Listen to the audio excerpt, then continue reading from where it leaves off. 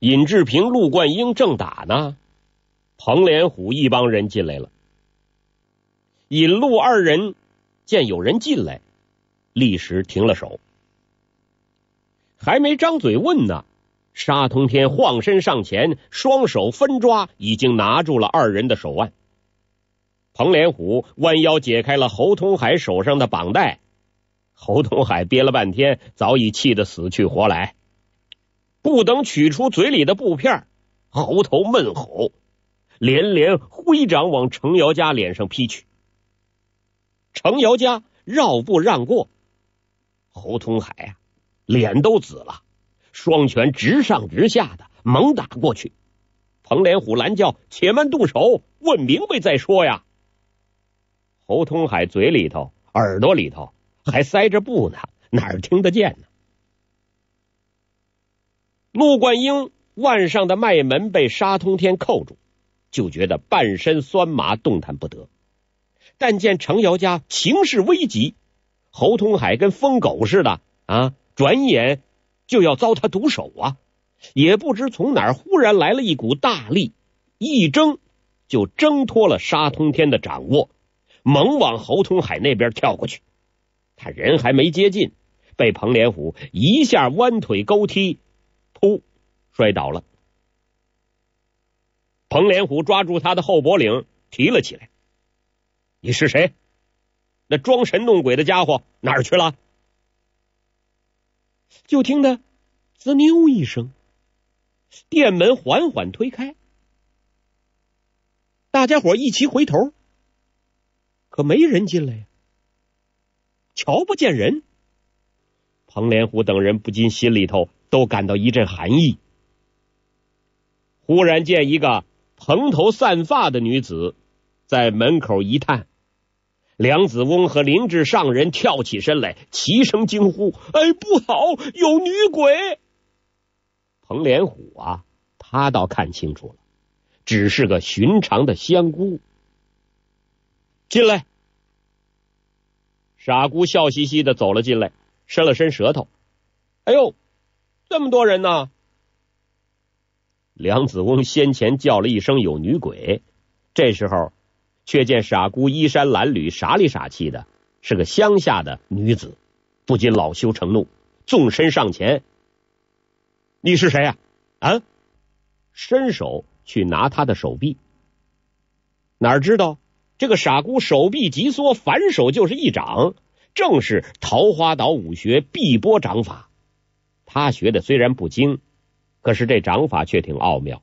梁子翁呢，他没有半点防备，啪的一声，这一掌结结实实的打在他手背之上，还不轻。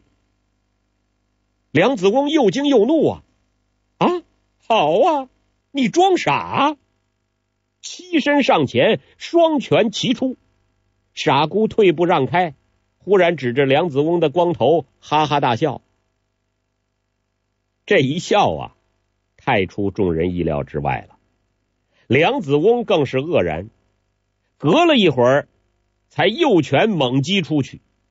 傻姑举手挡架，身子晃了几晃，知道打不过，转身就跑。梁子翁哪容他逃走啊？左腿跨出，已经拦住他的去路。回肘后撞，回拳反拍，傻姑这鼻子上就挨了一下，只疼得他眼前金星乱冒，大叫：“啊，吃西瓜的妹子，快出来救人呐！有人打我！”黄蓉大惊，他心想：没杀了这傻姑娘，留下来果然是祸害。突然间，听得有人轻轻哼了一声。这一声虽然很轻，黄蓉的心头却是通的一跳，惊喜交集。我爹到了，赶忙凑到小孔那儿观看，果然见黄药师脸上罩着人皮面具，站在门口。他什么时候进来的？大家都没有见到，像是刚来，又像呢。比别人还先进屋。这时候一见到他那张木然不动、没有半点表情的脸，都感到全身不寒而栗。他这脸呢，既不是青面獠牙，又没有恶形怪状，但是实在不像一张活人的脸。刚才傻姑只和梁子翁拆了三招，但是黄药师已经瞧出来他是本门的弟子，心里很奇怪。姑娘，你师傅是谁呀？他到哪儿去了？傻姑摇了摇头，看着黄药师这张怪脸，呆了一呆，忽然拍手大笑起来。黄药师眉头微皱，知道。他要不是自己的再传弟子，也必然和本门很有渊源。黄药师对本门弟子最爱护，绝不容许旁人欺负。梅超风犯了叛师的大罪，但是一败在郭靖之手，他就出来保护。何况傻姑这天真烂漫的姑娘，哦，傻孩子，人家打了你。你怎么不去打他呀？前些天呢，黄药师在大船上查问女儿下落的时候没戴面具，这次面目不同，众人都没认出来。但一听他的声音，完颜洪烈、杨康、彭连虎等三个人已经隐约猜到是他。彭连虎知道，在这魔头手下绝讨不了好。只怕昨晚在皇宫中遇到的就是这个人，打定主意，绝不和他动手。一有机会呀，立即三十六招走为上招。就听傻姑说：“嗯，我打不过他。哎，谁说你打不过他呀？他打你鼻子，你也打他鼻子，一拳还三拳，打他。”傻姑笑了：“嗯，好啊。”他也不想梁子翁本领比他大多了，走到他面前，你打我鼻子，我也打你鼻子，一拳还三拳，对准梁子翁的鼻子就是一拳。梁子翁举手就挡，忽然臂弯里曲池穴一麻，这个手臂啊只伸到一半，伸不上去了。啊，砰的一声，鼻子上果然吃了一拳。傻姑叫起来了。第二拳，说着又是一拳。梁子翁坐腰沉胯，拔背含胸，左手平手外翻，这是擒拿法的一招高招。眼见呢就要把傻姑的胳膊骨翻得脱臼，哪知道这个手指啊和傻姑的手臂要碰没碰的时候，上臂臂如穴又是一阵酸麻。这一手竟然翻不出去啊！砰的一声，鼻子又中了一拳。这一拳力道沉猛，打得他身子后仰，还晃了几晃。这一来，梁子翁固然是惊怒交加，旁边的人也无不惊讶。只有彭连虎，他精于暗器。每当梁子翁招架的时候，两次都听到非常轻的嗤嗤的声音。他知道。是黄药师发出的金针之类微小的暗器，打中了梁子翁的穴道。只是不见他手臂晃动，怎么发出来的呢？他哪知道，黄药师在衣袖中弹指发针，金针穿破衣袖，再打敌人无影无踪，疏忽就到，对方哪躲得了啊？就听傻姑那还叫呢，第三下。梁子翁俩胳膊不听使唤，眼见拳头迎面来了，只得退步闪避。哪知道刚要抬腿呢，右腿内侧白海穴上又是一麻。刚感到惊异，眼前火花飞舞，眼眶中酸酸的要流泪。原来鼻子上端端正正的又中了一拳，还牵动了泪穴了。他想啊，比武打败还不要紧。泪水如果流下来了，一生的声名不免就此断送。急忙举起袖子擦眼，一抬胳膊才想到：哦，我这手臂已经不能动了。两行泪水终于从脸上流下来了。傻姑见他流眼泪，还说呢：“啊，呃，别哭了，你不用害怕，我不再打你了。”就是这三句劝慰的话呀，这比起鼻子上的三拳，更让梁子翁感到无地自容。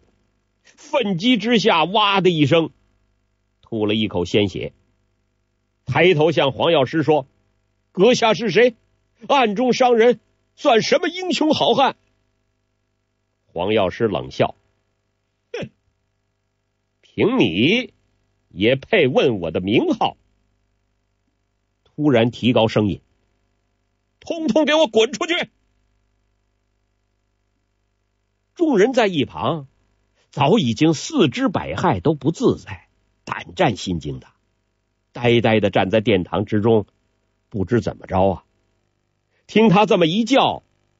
当时心里头一块石头落地，这回行了。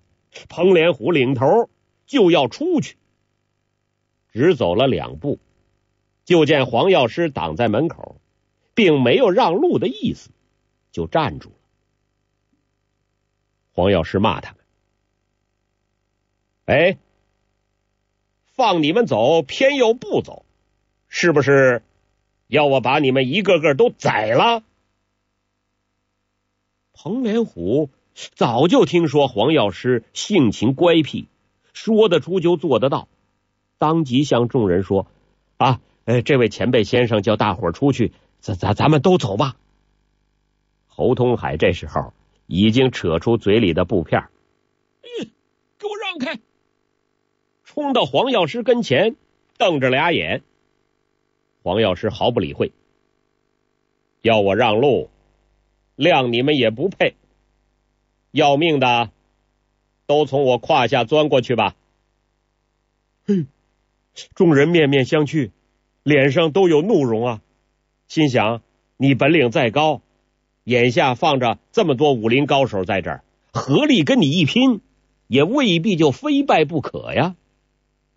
这侯通海不是二吗？他怒吼一声，带头向黄药师扑过去了。就听一声冷笑，黄药师左手已经把侯通海的身子高高提起来，右手拉住他的左膀向外一扯，咔的一声，硬生生的把一条手臂连肉带骨头扯成两截。黄药师把断臂和人同时往地下一扔，抬头向天理也不理。侯通海当时就疼得晕死过去了。断臂伤口血如泉涌，众人无不失色。黄药师缓缓的转过头，目光逐一在众人脸上扫过。您想啊，沙通天、彭连虎等人，个个都是杀人不眨眼的大魔头，但是见到黄药师的眼光向自己身上移过来，无不机灵灵的打个冷战。就感到汗毛直竖，浑身起了鸡皮疙瘩。猛然间，就听黄药师喝道：“钻是不钻？”众人受他声威的震慑，竟然不敢群起而攻。彭连虎一低头，首先从他胯下钻了过去。沙通天放开尹路二人，抱住师弟杨康，扶着完颜洪烈。最后是梁子翁和灵智上人都一个一个的从黄药师胯下钻了出去，一出殿门呐，人人抱头鼠窜，回头瞧一眼，那谁敢呐？黄药师仰天一笑：“冠英和这位姑娘留着。”陆冠英早知是祖师爷到了，但见他戴着面具，只怕他不愿意露出形迹。当下不敢称呼，只恭恭敬敬的跪下拜了四拜。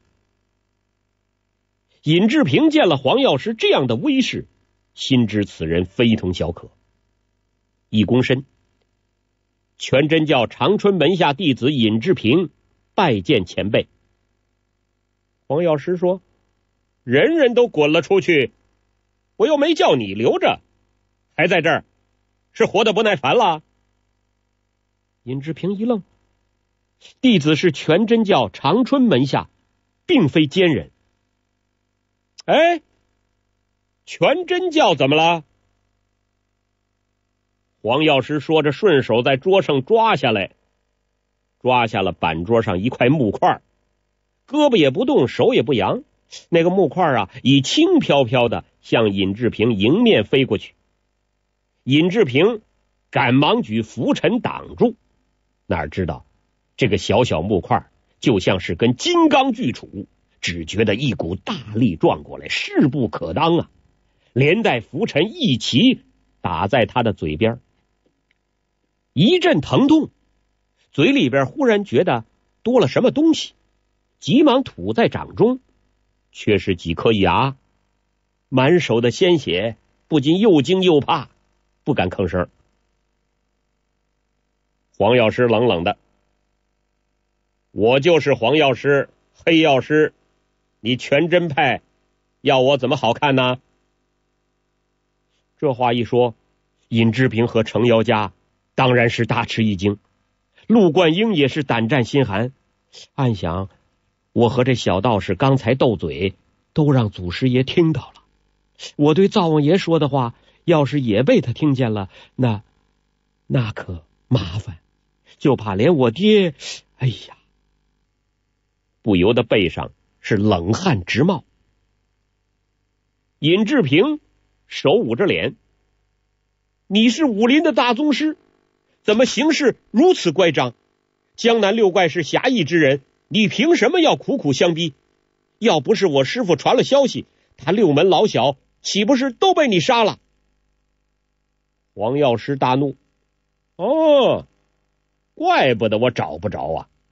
原来是有群杂毛从中多事。”一听这话，尹志平是又叫又跳：“你要杀就杀，我是不怕你的。”你背后骂我骂的好啊！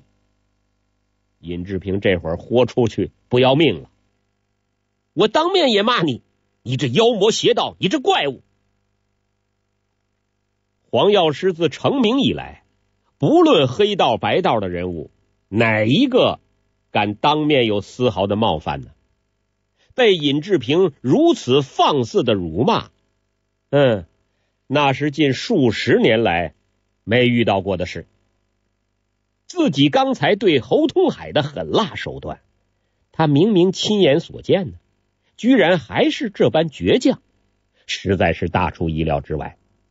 这个小道士骨头硬，胆子大，倒和自己年轻的时候性子挺相似。哎，他倒有点喜欢他。踏上一步，冷冷的：“你有种！”就再骂一句，我不怕你，偏要骂你这妖魔老怪。陆焕英心说不妙，小道士这番难逃性命。大胆的畜生，竟敢冒犯我祖师爷！举刀就向他肩头砍去。陆冠英这一刀啊，是好意，心想。祖师爷受他如此的侮辱，下手怎么能容情呢？只要一出手，十个尹志平也得当场送命。要是自己呢，把他砍伤，或许能够使祖师爷消消气儿，饶了这小道士的性命。尹志平哪知道啊？他跳开两步，横眉怒目：“我今天不想活了，我偏要骂个痛快。”陆冠英啊！有心要把他砍伤，好救他一命，于是又挥刀横砍。当的一声，程瑶家仗剑架开。我也是全真门下，要杀就把我们师兄妹一起杀了。这一招啊，大出尹志平意料之外。程师妹，好！两个人并肩而立，眼睁睁的望着黄药师。这么一来。陆冠英也不便再动手了。黄药师哈哈大笑：“哈哈哈哈哈哈！好，有胆量，有骨气啊！我黄老邪本来就是邪魔外道，也没算骂错了。你师傅还是我的晚辈，我岂能跟你小道士一般见识啊？去吧！”忽的伸手一把把尹志平当胸抓住，往外甩出。尹志平身不由主的往门外飞去，满以为这一跤一定是摔得不轻，哪知道双脚落地，哎，居然好端端的站着，就像是黄药师抱着他轻轻放在地下一样。他呆了半晌，心说：“好险！这尹志平就算胆子再大，终究也不敢再进屋去骂人了。”摸了摸肿起半边的脸。转身走了。黄药师手下留情，尹志平不敢再骂了，转身走了。程瑶家呢也要出门，黄药师说：“慢着。”他伸手撕下脸上的人皮面具：“你愿意嫁给他做妻子，是不是啊？”说着向陆冠英一指。程瑶家吃了一惊。霎时间，只吓得脸色雪白，随即又变红了，不知所措。黄药师说：“你那小道士师兄骂的好啊啊！说我是邪魔怪物，桃花岛主东邪黄药师，江湖上谁不知道啊？黄老邪生平最恨的是仁义礼法，最恶的是圣贤节烈。”这些都是欺骗渔夫渔妇的东西，天下人世世代代茫然不觉，真是可怜又可笑。哎，我黄药师偏不信这个，人人说我是邪魔外道，哼，我这邪魔外道比那些满嘴仁义道德的混蛋害死的人只怕还少几个呢。程瑶家不说话，心里边突突乱跳，不知道。他要怎么对付自己？你呀，你明明白白的对我说，是不是想嫁给我这徒孙啊？我喜欢有骨气、性子爽快的孩子。刚才那个小道士在背后骂我，哎，要是当我面就不敢骂了，反而跪下哀求，你瞧我杀不杀他？嘿，哎呀，你在危难之中挺身而出。竟敢去帮小道士，人品是不错的，很配得上我这徒孙啊！快说吧。程瑶家呀，心里头十分愿意，可是这种事儿对自己亲生父母也说不出口，岂能向一个初次会面的外人明说呢？更何况陆冠英就在身边，那太不好意思了。黄药师见陆冠英也是低垂了头，心里头忽然想起女儿，叹了一口气：“唉，要是你们两厢情愿呢，我就成就了这桩美事。儿女婚姻之事，连父母也是勉强不来的。”他想到当时要是好好同意了女儿和郭靖的亲事，那么女儿就未必会惨死大海，心里一烦。厉声的说：“管英，别给我拖泥带水的，到底你要不要他做妻子？”陆观英吓了一跳：“呃呃，祖师爷，孙儿只怕配不上这位，配得上的。你是我的徒孙，就是公主娘娘也配得上。”陆冠英啊，见了祖师爷的形势，知道再不爽爽快快的，眼下就有一场大苦头吃。嗯，孙儿是千情万愿。黄药师微微一笑，嗯，那好，姑娘你呢？程瑶家听了陆冠英这话，心里头挺甜。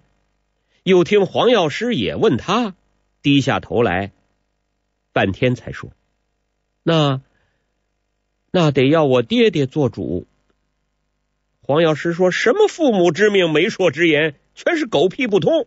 我偏要做主，你爹要是不服啊，这么着，叫他来找我比划比划。嗯，我爹只会算账写字，不会武功。哎，比算账写字也行啊！啊，讲到算术，天下有谁算得过我呀？快说，你愿不愿意？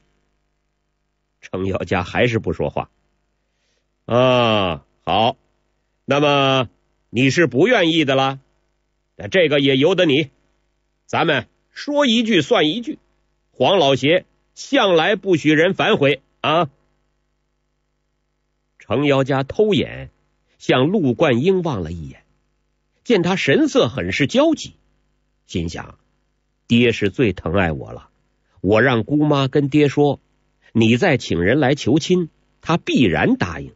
你何必这么慌张呢？黄药师站起身来，观音啊！跟我去找江南六怪，日后你再跟这个姑娘说一句话，我把你们两个人舌头都割了。陆冠英吓了一跳，知道祖师爷言出必行，这可不是玩的，赶忙走到程瑶家跟前作了一个揖：“小姐，陆冠英武艺低微，无才无学，身在草莽，原本高攀不上，可今日。”得与小姐相会，确是有缘。程瑶家低声的：“公子不必太谦，我我不是。”随即呀，又没声了。陆冠英心中一动，想起他曾出过那个啊点头摇头的主意。小姐，你要是嫌弃陆某，那就摇摇头。说完这句话。陆冠英心里头砰砰的乱跳，他就怕他摇头。哎，过了半天，程瑶家连手指头也没动。陆冠英大喜，姑娘既然同意了，就请点点头。哪知道啊，程瑶家还是木然不动。陆冠英自然焦急，黄药师更是大不耐烦了。哎。你又不摇头又不点头，那算什么呀？嗯，不摇头，呃，就就是点头了。这几个字说的呀，跟蚊子叫似的。也亏得黄药师内功深湛，耳朵极灵，才总算听到了。那要是少了几年修炼，也只能见到他的嘴唇似动非动的。黄药师哈哈大笑。好，王重阳一生豪气干云，却收了这个扭扭捏捏的一个徒孙，真是好笑。好好，今天呢，我就给你们成亲。哎呀，陆成二人都吓了一跳啊，望着黄药师说不出话来。那个傻姑娘呢？我要问问她师傅是谁。三个人环顾堂中，傻姑娘。却已经不知去向。现在呀，咱们也不忙找他。管英，你这就跟陈姑娘在这儿拜天地成亲。哎呀，祖师爷这么爱惜孙儿，孙儿真是粉身碎骨也难报。只是，只是在这儿成亲，似乎过于仓促。哎，你是桃花岛门人，难道也守世俗的礼法？来来来。两个人啊，过来，并排站着，向外拜天。这话呀，有一股令人不可抗拒的威严。程瑶家到了这个地步，只得和陆冠英并肩而立拜天。黄药师呢，还继续当司仪，向内拜地。哎，拜你们的祖师爷呀！哎，就是我。哎，好好，哎，痛快痛快。夫妻两人对拜，这出好戏呀，在黄药师的指挥下逐步上演。黄蓉和郭靖在暗室一直瞧着，都是又惊又喜，又是好笑。只听黄药师又说：“哎，这可妙极了！观音，你去弄一对蜡烛来，今晚你们洞房花烛啊！啊，祖师爷。”怎么了？拜了天地，下边不就是入洞房吗？你们夫妻俩都是学武的人，难道洞房也一定要啊什么锦房绣被的？这破屋柴铺就做不得洞房了？陆冠英不敢作声，心里头七上八下的，又惊又喜。按他的话，到村里头讨了一对红烛。买了些白酒黄鸡，和程瑶家在厨房中坐好了，服侍祖师爷喝酒吃饭。此后，黄药师再不说话，只是仰起了头，心中想着女儿，暗自神伤。黄蓉瞧着他的神情，料想是在记挂着自己，心里头难受，几次要开门呼叫，却怕被父亲一见到就抓了自己回桃花岛去。他纵然不杀郭靖，郭靖这条命那也就此丢了。这么一想，伸到门上的手又缩了回来。陆成二人。偷偷瞧着黄药师，又互相对望一眼，惊喜尴尬，面红耳赤，谁也不敢作声。欧阳克躺在柴草之中，全都听在耳朵里。虽然肚子里饥饿难熬，那也是连大气也不敢喘上一口。天色逐渐昏暗，程瑶家心跳越来越厉害。只听黄药师自言自语。哎呀，那个傻姑娘怎么还不回来呢？嗯，谅那些奸贼也不敢向他动手。转头对陆冠英说：“今晚洞房花烛，哎，你怎么还不点蜡烛啊？”陆冠英说是，取出火刀火石，点亮蜡烛。烛光下，见程大小姐云鬓如雾，香腮胜雪，脸上惊喜羞涩之情。实在是难以描绘。门外呢，重声低语，风动翠竹，真不知是真是幻呢。黄药师拿一条板凳放在门口，横躺在凳子上，不多时，鼾声响起，已经睡着了。陆成二人却仍然不动。过了很久，红烛烧尽。火光熄灭，堂上漆黑一团。陆成二人低声模模糊糊的说了几句话，黄蓉侧耳倾听，却听不出说的什么。忽然觉得郭靖身体颤动，呼吸急促，似乎内息进了岔道，忙聚精会神的运气帮助他。等他气息凝定，再从小孔往外张望。只见月光横斜，从破窗中照射进来。陆成二人已经并肩依偎，坐在一张板凳之上。就听程瑶家低声的说：“你可知今天是什么日子？”陆冠英说：“是咱俩的大喜的日子啊！”那还用说？今天是七月初二，是我三表姨妈的生日。陆冠英乐了，哦，你们家亲戚一定很多，是不是？难为你记得这么多人的生日啊！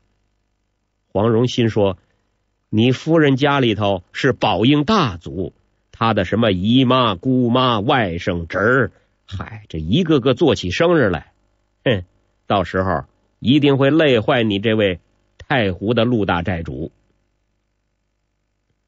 哎，他猛然想起。今天七月初二，靖哥哥要到初七才能痊愈。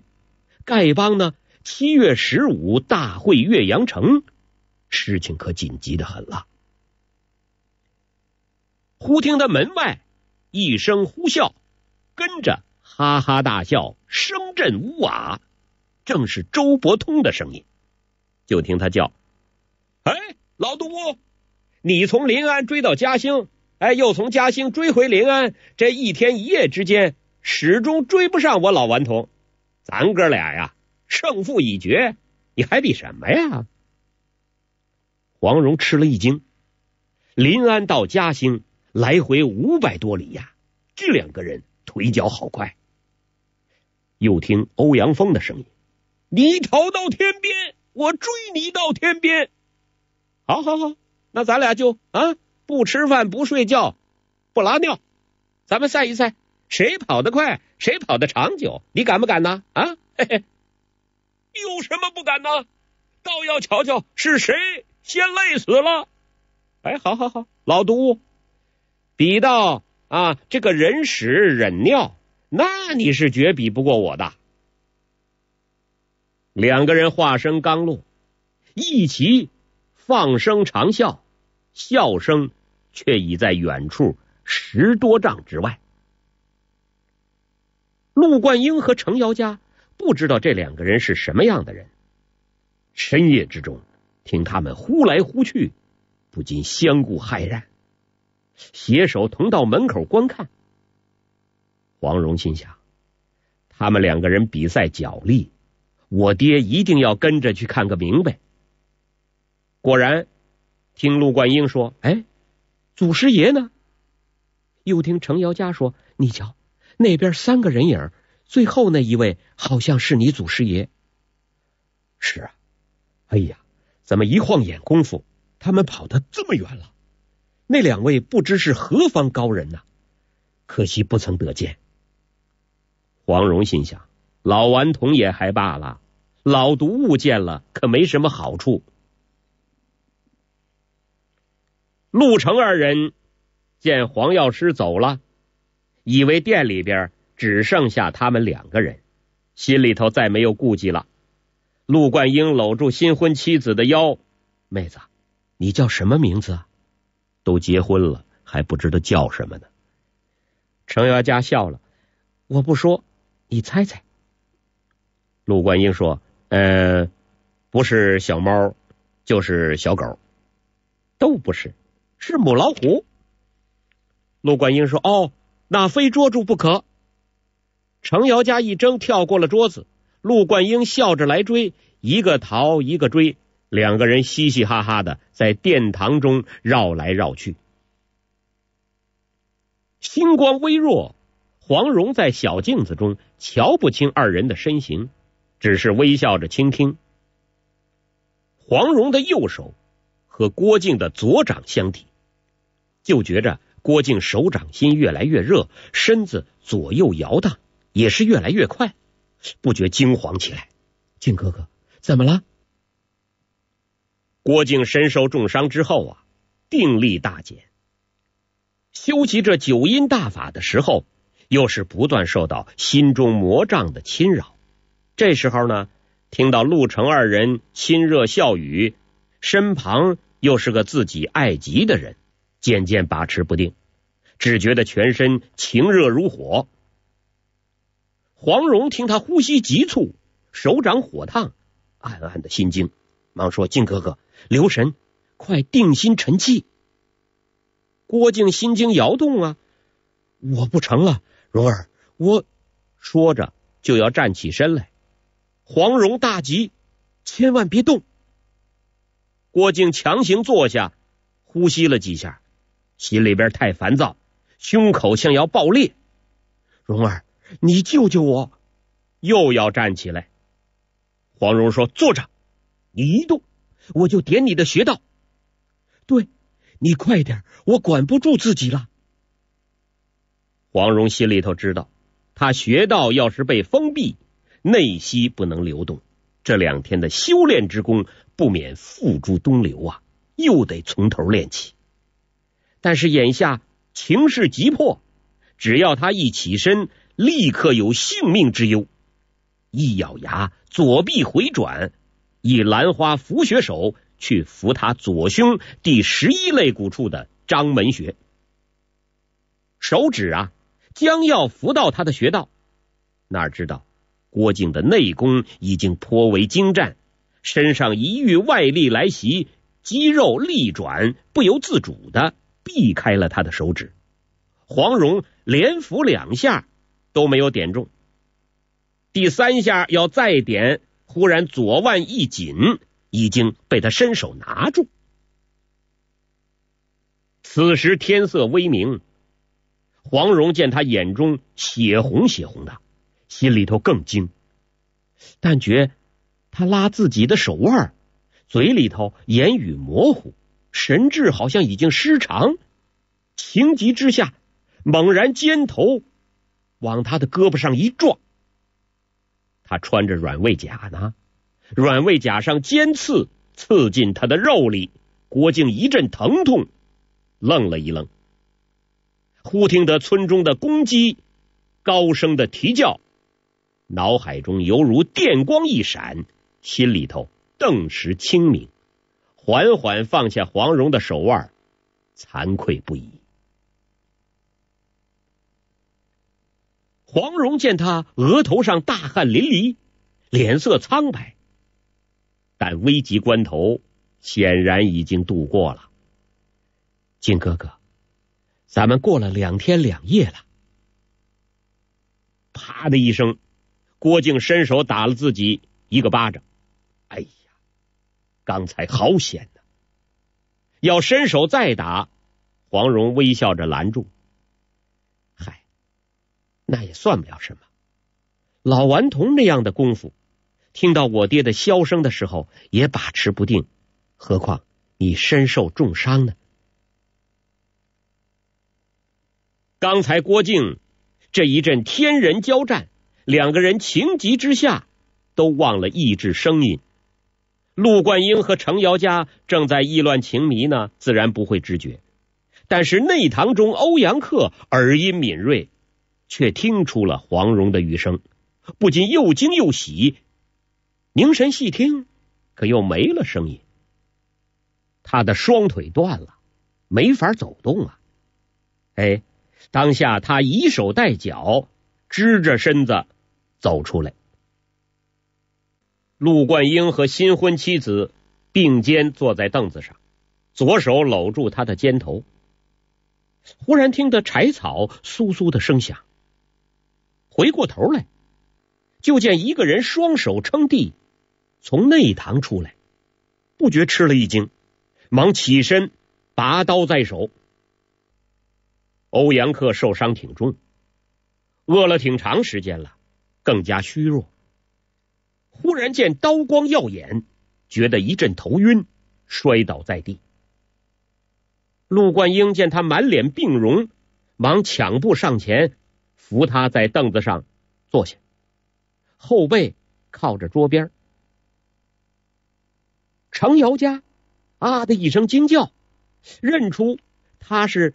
曾在宝应县擒拿过自己的那个坏人，陆冠英见他神色惊慌，还安慰他：“哎，别怕，是个断了腿的。”程瑶家说：“他是歹人，我认得他。”欧阳克慢慢的醒过来，呃，给碗饭吃，我饿死了。程瑶家见他双颊深陷，目光无神。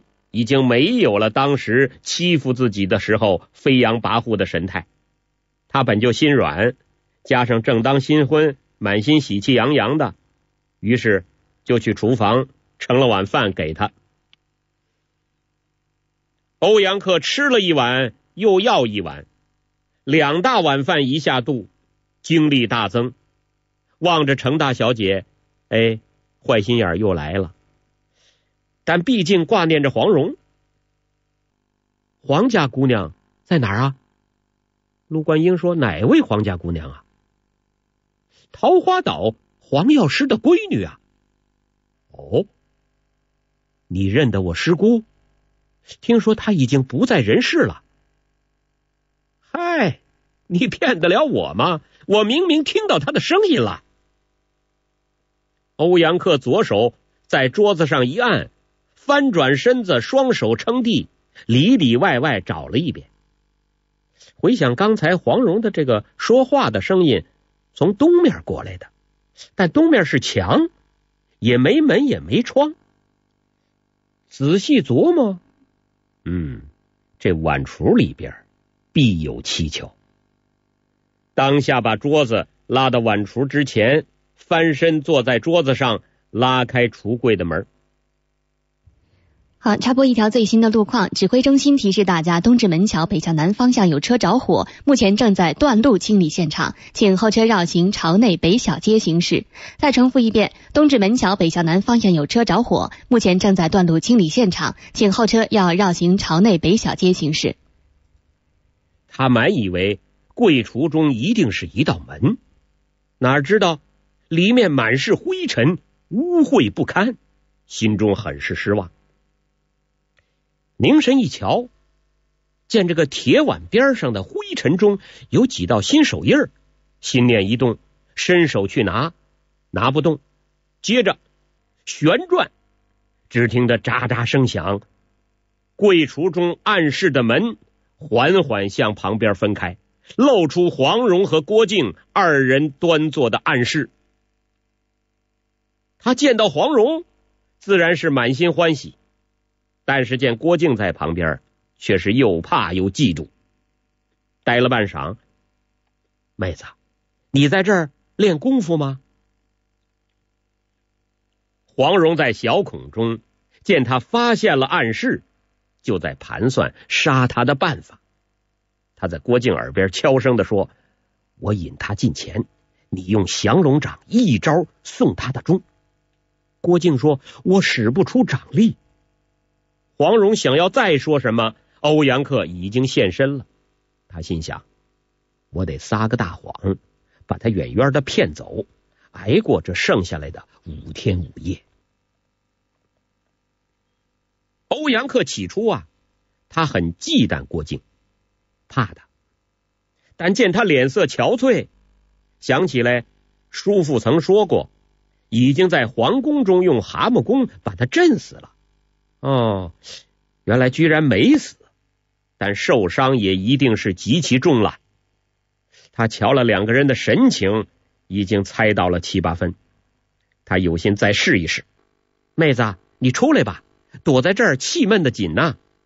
说着，就伸手来拉黄蓉的衣袖。黄蓉提起竹棒，一招棒打狗头，往他头顶打去，出手狠辣，正是打狗棒法中的高招。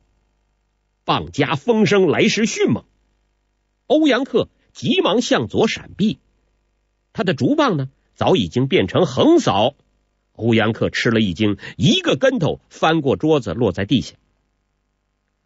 黄蓉要是能乘胜追击，再一招反戳狗臀，那就可以命中他的要害。但是啊，他盘膝而坐，行动不得。心里边连说可惜。陆冠英和程瑶家忽然见柜橱里边有人，都吃了一惊。等看清楚是郭黄二人，黄蓉和欧阳克已然动上了手。欧阳克一落下，立即双手撑地，翻上桌子坐好，吃开了擒拿法，勾打锁击，隔着密室的门和黄蓉相斗。黄蓉的打狗棒法虽然很奥妙，但身子不能移动，又得照顾郭靖的内息，出招的时候不敢使劲。欧阳克的武功当然高出他很多，只拆了十多招，黄蓉已经是疲于应付，险象环生。陆冠英夫妇操刀挺剑上前夹攻，欧阳克呢毫不在意，高声长啸。猛地发掌往郭靖的脸上劈去。这个时候啊，郭靖完全没有抗拒的能力，见到敌招，只有闭目挨打。黄蓉大惊，身棒一挑，欧阳克手掌翻转，已经抢住棒子的头，急往外夺。黄蓉哪有他劲儿大呀？身子晃了一晃，他就怕手掌啊和郭靖的手掌脱开。只得撒手松了棒子，回首在怀中一探，一把钢针掷了出去。两个人呐，相距不过几尺。欧阳克见光芒耀眼，钢针已经破进他的面门，急忙腰间使力，仰天躺在桌面，躲过了钢针。这个时候，陆冠英见欧阳克正是举上之肉，举刀过顶，猛地。就往他脖子中砍下来。欧阳克呢，向右滚开，咔的一声，陆冠英钢刀砍进了桌面。只听得头顶嗤嗤的声响，钢针飞过。突然觉得背上一麻，半边身子当时不能动了，想要避让，右胳膊已经被敌人从后面抓住程瑶家大惊，来救他。欧阳克笑了，好极了，当胸抓去，出手非常快呀，早已经抓住他胸前的衣襟。程瑶家忙回剑砍他的手腕，同时向后跳开，就听“嗤”的一声响，衣襟已经被他扯下一块，吓得程瑶家长剑险些脱手，脸都白了，哪敢再上前呢？欧阳克。坐在桌子角，回头见柜橱的密门又已经关上，刚才差点被钢针打中，他心里头也有点发怵。按说这小丫头真不好斗。哎，有了，我呀，我把那程大小姐戏耍一番，管教这姓郭的小子和小丫头，听得心烦意乱，把持不定，坏了功夫。那时候啊，还不乖乖的听我摆布。想到这儿，心里头还挺高兴。他寻思，这黄家小丫头是天仙一样的人，我总要让她心甘情愿的跟我一辈子。要是用强，那没情趣。这个计策挺好，啊，妙不可言。他对程瑶家说：“哎。”程大小姐，你是要他死呢，还是要他活呀？程瑶家见丈夫身在敌手，动弹不得。他跟你无冤无仇的，求求你放了他吧。刚才你饿的要命，不是我盛了饭给你吃吗？哎，你看，你看，这两碗饭怎么能换一条命呢？嘿嘿，想不到啊，你全真派也有求人的日子啊！他，他是桃花岛主门下的弟子，你别伤他。谁叫他用刀砍我来着？要不是我躲得快，这脑袋瓜子还能长在脖子上吗？你不用拿桃花岛来吓我。黄药师是我岳父。什么是他岳父？纯粹瞎说。程瑶家呢？不知道他的话是真是假。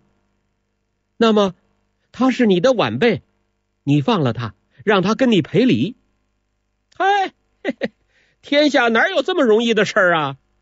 你要我放他，那也可以，但得依我一件事。程瑶家见到他脸上的淫邪神色，知道他不怀好意，低头不语。欧阳克说：“瞧着！”举起手掌，啪的一声，把方桌劈下一角。断处整整齐齐，就跟刀劈的一样。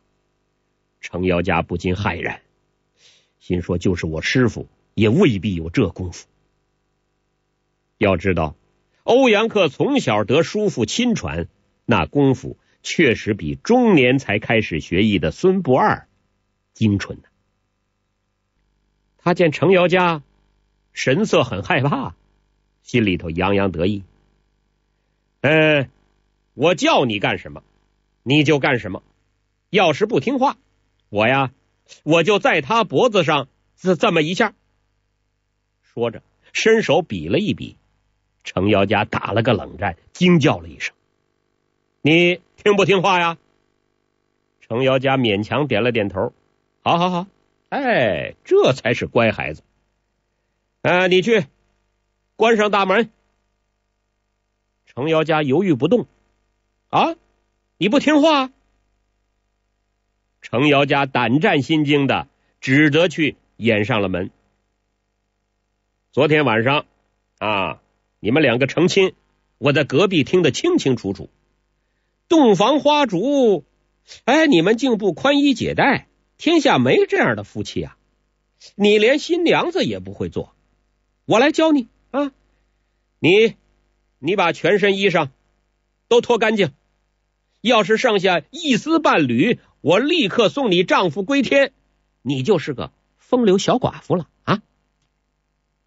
陆冠英的身子不能动，耳朵那是听得清清楚楚啊，只气得目眦欲裂，有心要叫妻子别管自己，快些自行逃命。他的嘴没法动了，黄蓉。当欧阳克抓住陆冠英的时候，已经把密门关上，手抓匕首，等他二次来攻。忽然听他叫程瑶家脱衣服，不觉又是气恼又是好笑。他呀是小孩心性，虽然恨欧阳克卑劣，但不自禁的也想瞧瞧这个扭扭捏捏的程大小姐到底肯不肯脱。欧阳克还在那说呢，脱了衣裳有什么要紧呢？你打从娘肚皮里出来的时候是穿了衣裳的吗？你要自己的脸面呢？还是要你丈夫的性命啊？程瑶家沉吟片刻，你杀了他吧。嘿，欧阳克说什么也没想到，他竟会说出这句话，微微一愣，却见他横转长剑，直往自己的脖子上抹去。他急忙挥手，发出一枚透骨钉，铮的一声，把他的长剑打落在地。程瑶家弯腰去拾剑，忽听得有人拍门：“店家，店家！”哎，是个女子的声音。他心头一乐：“哎呀，有人来了，这局面可有变化。”忙弯腰捡起长剑，立即跳出去，打开大门。只见是一个浑身素服的妙龄女子站在门外，白布包头。腰间挂刀，形容憔悴，那也掩不住天然的励志。程瑶家不管他是什么人了，总是绝境中来临的救星啊！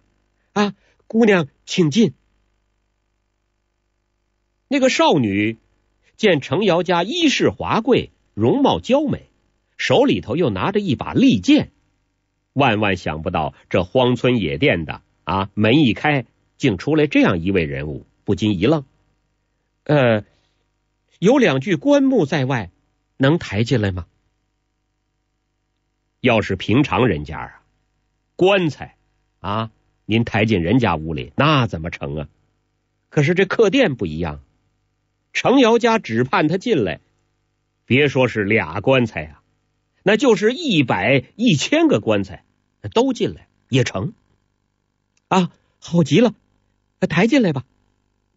少女更奇怪了，心想：这棺材抬进来就抬进来，干嘛还好极？向外招手，八名杠夫抬了两具黑漆的棺木走进殿堂。那少女回过头来，和欧阳克一照面，大吃一惊，苍啷一响，腰刀出鞘。欧阳克哈哈大笑。哎呀，哈哈哈哈哈！上天注定咱们有缘，真是逃也逃不掉。送上门来的艳福，不享受太亏。这个少女正是曾经被他抓获过的穆念慈。他在宝应和杨康决裂，伤心断发，万念俱灰，心想世上还有一事未了。于是赶赴中都，取了寄存在寺庙里的杨铁心夫妇的灵柩，护送南下，要去安葬在临安牛家村异父异母的故居，然后呢，出家当尼姑。此时，蒙古兵大举进攻，中都面临围城，兵荒马乱之际，一个女孩带着两具棺材。一路上好不艰难呐，费了千辛万苦才回到故乡。他离家的时候才五岁，从没到过牛家村。见到傻姑那家客店，心想呢，我先住了店打尖，再去探问。哪知道一进门，竟然撞到了欧阳克。他不知道眼前这个锦衣美女。也正受这魔头的欺负呢。当时程瑶家被抓，穆念慈却被欧阳克藏在空棺材里，两个人没见过面，还以为啊程瑶家是他的姬妾，当下向他虚砍一刀，夺门就逃。只听得衣襟带风，一个人影从头顶越过，穆念慈举刀向上撩。欧阳克身子还在半空，右手的十拇两指已经捏住刀背一扯，左手拉住他的手腕。穆念慈腰刀脱手，身子腾空，两个人一起落在进门一半的那具棺材上。四个杠夫一齐叫：“哎呦！”棺材落地了，只压的那四名杠夫啊，八只脚伤了五六只。欧阳克左手。把穆念慈搂在怀里，右手用刀背向杠夫乱打。那四名杠夫连声叫苦，爬过棺木向外急逃。另外四名，这个扔下棺材，钱也不敢要了，跑吧！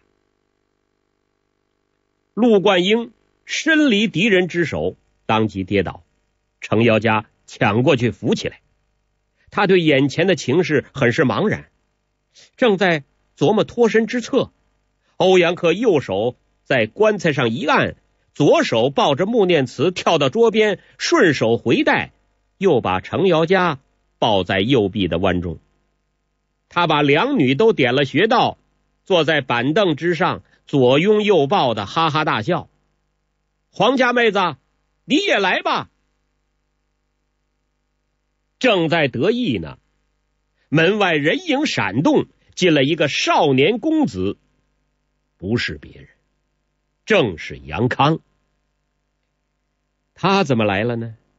他和完颜洪烈、彭连虎等人从黄药师胯下钻出去，逃出牛家村。众人受了这番奇耻大辱，都是默默无言的低头而行。杨康心想：要报此仇，非求欧阳锋出马不可。他到皇宫取书没回来，于是禀明了完颜洪烈，独自回来，在村外树林中等候。那晚上，周伯通、欧阳锋、黄药师三个人呼来呼去，身法极快。以杨康这点功夫，黑夜中哪瞧得明白呀？到第二天清晨，却见穆念慈压着棺木进村，他怦然心动，悄悄跟在后面。见他进殿，抬棺的杠夫急忙逃走，心里头很奇怪，在门缝中一瞧，见黄药师早已经不在了，穆念慈却被欧阳克抱在怀里，正要大施轻薄。在傻姑的店里，欧阳克正要轻薄穆念慈，杨康进来了。欧阳克见他进来，小王爷，你回来了。杨康点了点头。欧阳克见他脸色有变，还安慰他呢：“哎，当年呐，韩信也曾受胯下之辱，大丈夫能屈能伸，那算不了什么。等我叔父回来，给你出气。”杨康点了点头，目不转睛的望着穆念慈。欧阳克说：“小王爷，我这两个美人挺不错吧？”杨康又点了点头。当初啊，穆念慈和杨康在中都街头比武，欧阳克并没有在场啊，所以呢，他不知道两个人之间另有一段渊源。杨康起初并没有把穆念慈放在心上，以一一往情深，不禁感动，所以定了婚姻之约。这时候呢，见欧阳克把他抱在怀里。心中恨极了，脸上却不动声色。欧阳克说：“昨天晚上这里有人结亲，这个厨房里啊还有酒有鸡。小王爷，劳你驾去拿来，咱们共饮几杯。我叫这两个美人啊脱去衣裳跳舞给你下酒。”杨康说：“哎，那再好也没有。”穆念慈突然见到杨康，惊喜交集。可是他对自己竟丝毫不加理睬，心头早已十分的生气。又见他神情轻薄，要随同欧阳克侮辱自己，胸中更是一片冰凉，决心只等手脚一得自由，就自刎在这负心郎的面前。正好呢。求得解脱，从此再不知人世间的愁苦事。只见杨康转身到厨房中取出酒菜，和欧阳克并坐饮酒。欧阳克斟了两碗酒，递到穆成二女的嘴边，先喝酒，以助歌舞之兴啊！这两个女子啊，虽然气得快晕过去了，但苦于穴道被点，眼见酒碗碰到嘴唇，却是没法转头躲避，都被他灌下了半碗酒。杨康说：“欧阳先生，你这身功夫，我真是羡慕的很。先敬你一杯，再观赏歌舞。”欧阳克接过杨康递过来的酒碗，一饮而尽，随手解开。二女的穴道，双手呢，却还按住他们后背的要穴，乖乖的听我吩咐啊！那就不但没有苦吃，还有你们的乐呢。哎，小王爷，你喜欢哪一个？凭你先挑。杨康说：“哎，这可多谢了。”穆念慈指着门口的两具棺材：“杨康，你瞧，这是谁的灵柩？”杨康回过头来，见第一具棺木上朱漆写着一行字：“大宋义士杨铁心灵柩。”心里一惊，脸上呢还是满不在乎。欧阳先生，你紧紧抓住这两个妞，让我来摸摸他们的小脚吧，瞧瞧是哪一个的脚小些啊，我就挑他。欧阳克说：“嘿。”这个小王爷真是妙人呐！我瞧啊，一定是他的脚小。说着，在程瑶家的下巴摸了一把。我呀，生平有一门功夫，只要瞧了女人的脸蛋就知道她全身从上到下长得怎么样。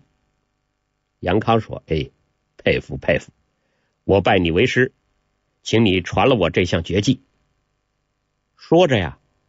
就弯腰到桌子底下，穆念慈和程瑶家都打定了主意，只等他伸手来摸，对准他的太阳穴就是一脚。杨康说：“欧阳先生，你再喝一碗酒，我就跟你说，你猜的对不对？”欧阳克笑了：“哎，好，端起碗来。”杨康从桌子底下斜眼上瞧，见他正仰起了头喝酒，猛地从怀里取出一截铁枪的枪头，把全身的劲儿都聚集到手腕，牙关紧咬，向前猛送，噗的一声，直刺入欧阳克的小腹之中，扎进去五六寸深呐！随即一个跟头从桌子底下翻出来。这一下来的太突然，黄蓉、穆念慈、陆冠英、程瑶家全都吃了一惊，只知道有变，却没有看见桌子底下发生了什么事。欧阳克双臂急震，把穆成二女双双推下板凳，手里的酒碗随即甩出去。杨康低头躲过，苍啷一响，那个碗在地下碎成了千百片。可见这一甩。这个劲儿大的惊人呐！杨康就地打滚本来呢打算滚出门去，哪知道门口被棺材挡住了。他翻身站起来，回过头来，只见欧阳克双手撑住板凳，身子向前倾斜，脸上似笑非笑，双眼凝望自己，神色很是怪异。杨康不由自主的打个寒颤，心里头想着我要逃出店门，但是被他目不转睛的盯着，身子就像僵住了一样，再也动弹不得。欧阳克仰天打个哈哈，嘿嘿，我姓欧阳的纵横半生，想不到今天死在你这小子手里，只是我心里实在不明白。小王爷，你到底为什么要杀我？杨康双脚一点，身子跃起，想要逃到门外，再回答他的问话。人在半空呢，突然觉得身后劲风袭来，后脖子已经被一只钢钩般的手抓住，再也无法向前。腾的一下，和欧阳克同时坐在棺材上。欧阳克说：“你不肯说，要我死不瞑目啊？”啊。杨康的脖子要穴被他抓住，四肢都不能动，已经知道万难幸免。嘿，好吧，我对你说，你知道他是谁？说着向穆念慈一指。欧阳克转过头来，见穆念慈提刀在手，要上前救援，却又怕伤了杨康。这个关切的表情，就和刚才程瑶家对陆冠英一样。心里头当时明白了，哦，他，他，说着，忽然咳嗽起来。杨康说：“她是我没过门的妻子。”你两次强加戏辱，我岂能容你？欧阳克一笑，嘿嘿嘿，原来是这样，咱们同赴阴间吧。高举了手，在杨康天灵盖上比划一下，举掌就要拍落。穆念慈大声惊叫，急步抢上去相救，那根本来不及。杨康闭了眼，只等他这掌拍下来。哪知道过了好一阵，头顶始终没有任何动静。睁开眼来，见欧阳克脸上笑容还在，右掌还是高举，抓住自己后脖子的左手却已经放松。他急忙睁开，欧阳克跌下棺材盖已然气绝身亡，死了。杨康和穆念慈呆了半晌，四手相握，千言万语不知从何说起。望着欧阳克的尸身，心中还有余悸。程瑶家扶起陆冠英，解开他被封的穴道。陆冠英知道杨康是大金国的亲使，虽然见他杀了欧阳克。对自己有恩，但也不能就此化敌为友。上前作了一揖，不说一句话，拉了程瑶家的手，扬长而去。两个人刚才的惊险，实在是平生从来没有的经历。这次死里逃生啊！这个逃生之后，竟都忘了去和郭靖、黄蓉见面了。黄蓉见杨康和穆念慈重会，感激他解救了大难。郭靖呢，更盼这个义弟从此改过向善。和黄蓉对望一眼，都是满脸的笑容。只听穆念慈说：“你爹妈的灵柩，我给护送回来了。”杨康说：“这本是我分内的事，偏劳你了。”穆念慈也不提往事，只是和他商量如何安葬杨铁心夫妇。杨康从欧阳克的小腹中拔出铁枪的枪头，咱们呐，快把他埋了。此事要是被他叔父知道，天下虽大，咱们俩却没有容身之地。当下，两个人在客店后面的废园中埋了欧阳克的尸身。又到村里雇人来抬了棺木，安葬在杨家旧居的后边。杨铁心离家是太久了，村子里的熟人都已经凋谢，所以呢也没人问。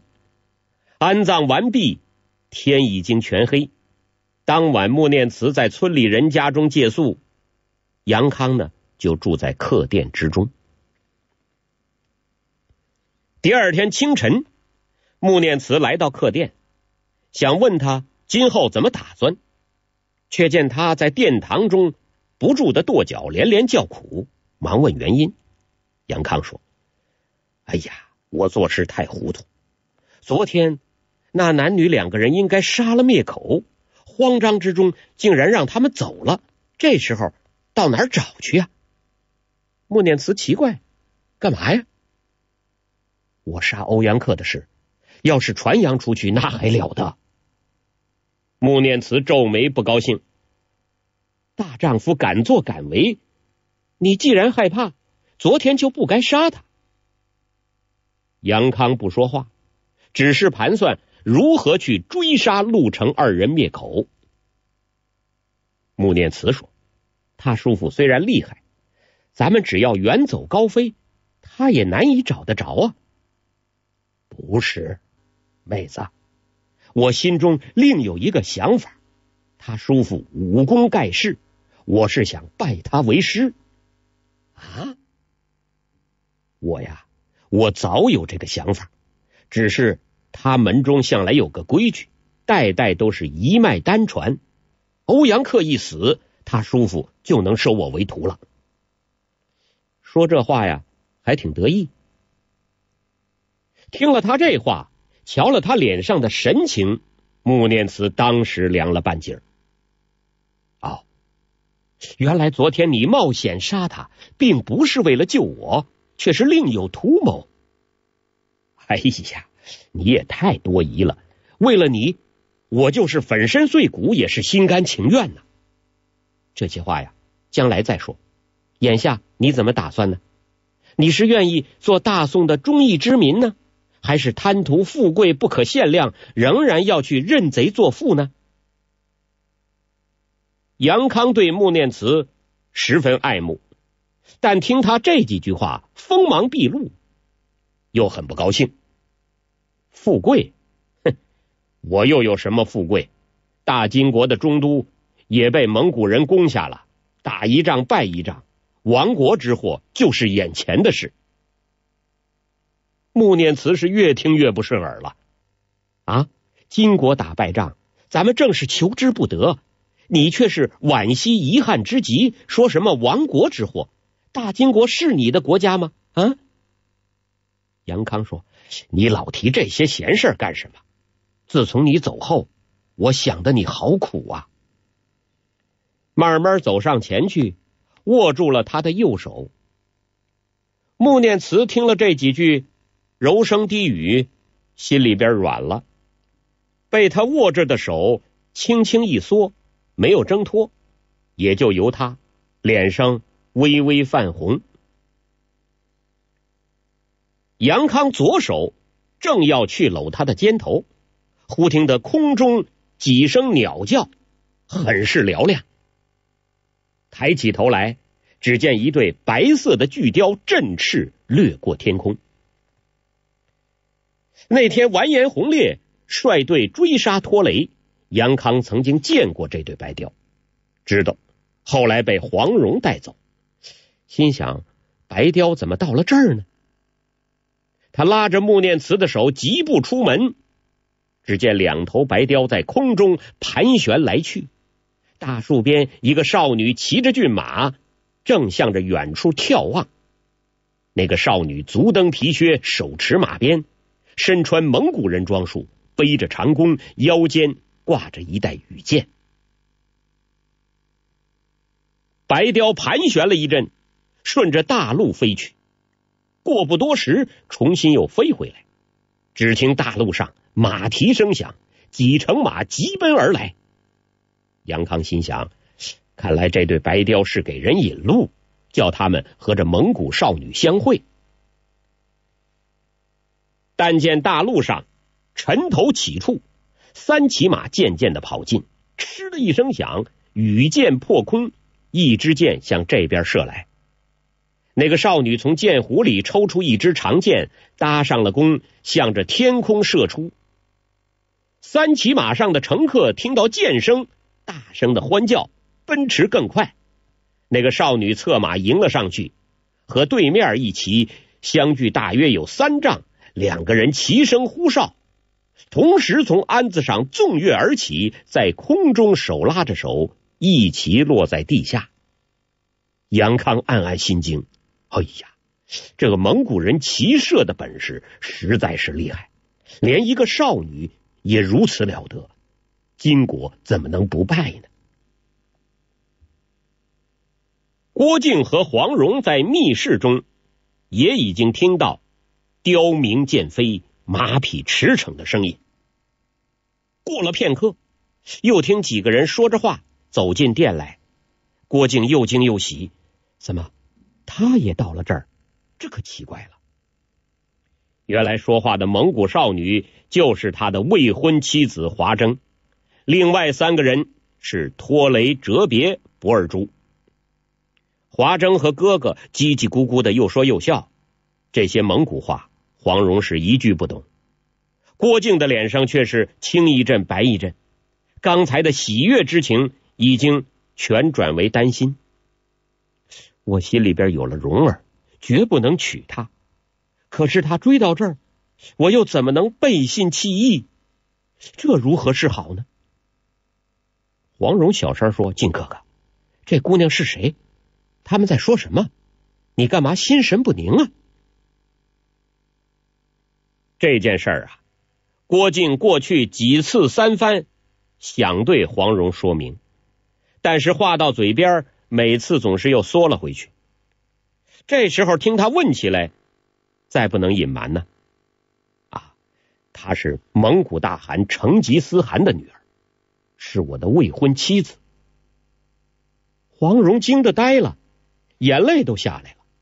你，你有了未婚妻子，你怎么从来不跟我说呢？那天丘处机和江南六怪在中都客店中对郭靖谈论他的婚事，江南六怪曾提及。成吉思汗以爱女许婚，但当时黄蓉还没来到窗外，没有听见，所以这事儿始终是全都不知道。郭靖说：“有时候我想说，呃，但怕你不高兴；有时候我又想不起来这回事啊，是你的未婚妻子，怎么能想不起来呢？我也不知道啊，我心里头。”只拿她当亲妹子、亲兄弟一样，我不愿意娶她做妻子。黄蓉高兴了，那为什么呢？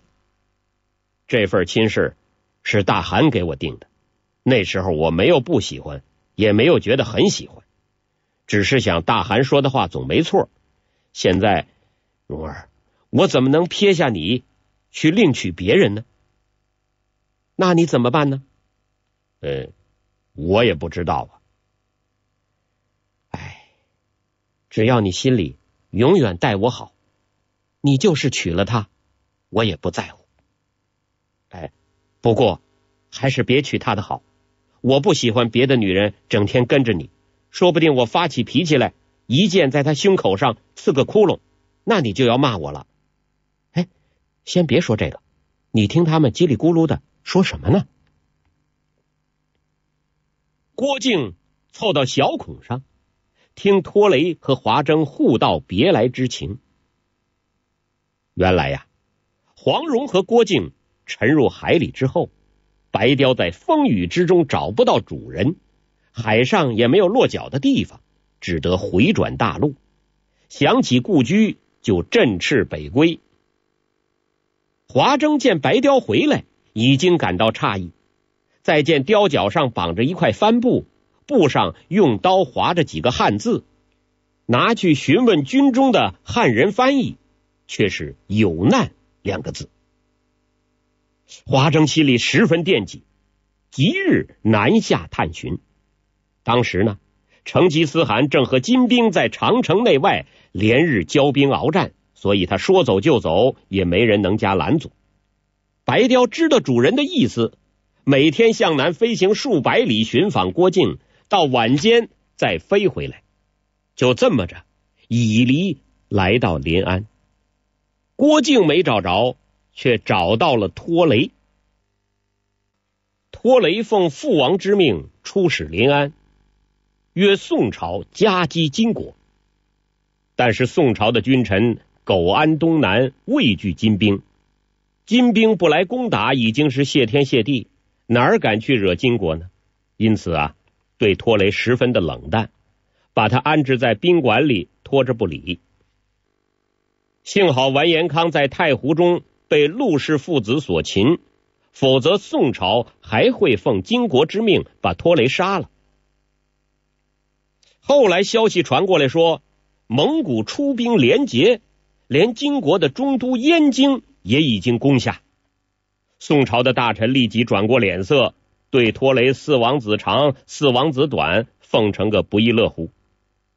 至于同盟攻金，变成毫不费力的打落水狗，还能乘机坐收厚利，何乐而不为呢？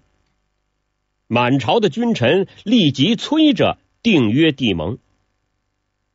托雷心里头很鄙夷，但还是和南宋定了同盟，打金国。这天启程北返，宋朝大臣恭送出城，托雷懒得跟他们敷衍，拍马就走，在临安郊外见到了白雕，他还以为啊郭靖到了，哪知道却遇上了妹子。华筝问。你见到了郭靖安达吗？托雷正要回答，忽听他门外人声喧哗，兵甲铿锵。原来宋朝护送蒙古亲使的军马，终于还是赶着来了。杨康悄然的站在店门口，眼见宋军的旗帜上大书“恭送蒙古亲使四王爷北返”的字样，不禁思潮起伏，感慨万状。啊！就在数十天之前，自己也还是王子亲使呢，如今却孑然一身，没人理睬。他一生尝的是富贵滋味，要他轻易的抛掉，实在是千难万难的事。穆念慈冷眼旁观，见他神情古怪，虽然不知道他想什么，但估计。总是念念不忘投靠异族得荣华富贵，不禁暗自神伤。宋军领队的军官走进客店，恭恭敬敬的参见托雷，应答了几句话，回身出来。哎，到每家人家去问问，有一位姓郭的郭靖郭官人是在这村里吗？要是不在，就问到哪儿去了。这些军士齐声答应，一哄而散。过不多时，就听到村子里边鸡飞狗跳，男叫女哭。那自然是众军士询问一无所得，但却顺手牵羊拿老百姓的财物。杨康心里一动，这些军士乘机打劫，我干脆乘机和这蒙古王子结交，和他一同北返。在半道，我设法刺死了他，这不是难事。蒙古大汗一定以为是宋人所为，那时候蒙古和宋朝的盟约必败，太有利于金国了。心里边想好了，就跟穆念慈说：“哎，你等我会儿。”大踏步走进殿堂，那个将官高声的阻拦，伸手拦他。被他左臂一震，仰天摔出，半天爬不起身。托雷和华筝一愣之间，杨康已经走到堂中，从怀里边取出那节铁枪的枪头，高举过顶，供在桌上，双膝跪下，放声大哭：“郭兄长啊，郭兄长，你死的好惨，我定要给你报仇，郭兄长啊！”托雷兄妹啊，不懂汉话，听他口口声声的呼叫郭靖的名字，大感惊异。见那将官好容易爬起身来，赶忙让他上去询问。杨康是一边哭一边说，涕泪滂沱呀，断断续续的说：“我是郭靖的结义兄弟，郭大哥被人用这铁枪的枪头刺死了，那奸贼是宋朝军官。”一定是受了宰相史弥远的指使。托雷兄妹听到那懂蒙古语的军官翻译出来，都像焦雷轰顶啊，作声不得。哲别、博尔竹都和郭靖情深意厚，四个人当时是捶胸大哭。杨康又说起，郭靖在宝应杀退金兵、相救托雷等人的事，托雷等人就更没有怀疑。详细询问郭靖死的情况，仇人是谁？杨康说，害死郭靖的是大宋指挥使段天德，他知道此人在哪，这就要去找他报仇。只可惜孤掌难鸣，只怕不容易成事。害他信口胡说呀！哎，胡说吧，还说的真切异常。郭靖在暗示，听得明明白白呀，心里头一片惘然。华筝听到后来，拔出腰刀就要横刀自刎，转念一想，又挥刀砍在桌子上，不给郭靖安的报仇，誓不为人。郭靖。见他的计谋已经成功了一半，心里头暗暗喜欢，低下头来还是假哭。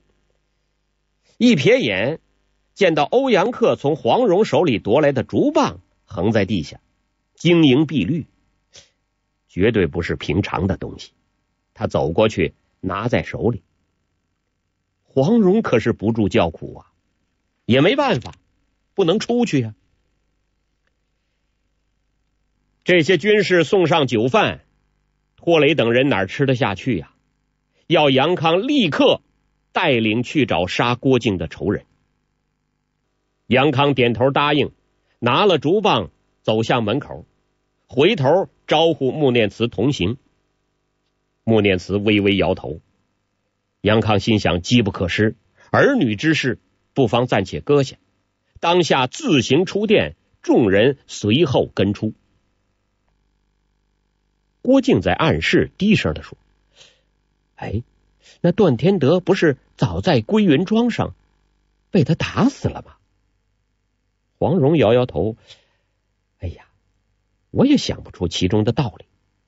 用刀刺你的，那不是他自己吗？这个人诡计多端，心思难测。”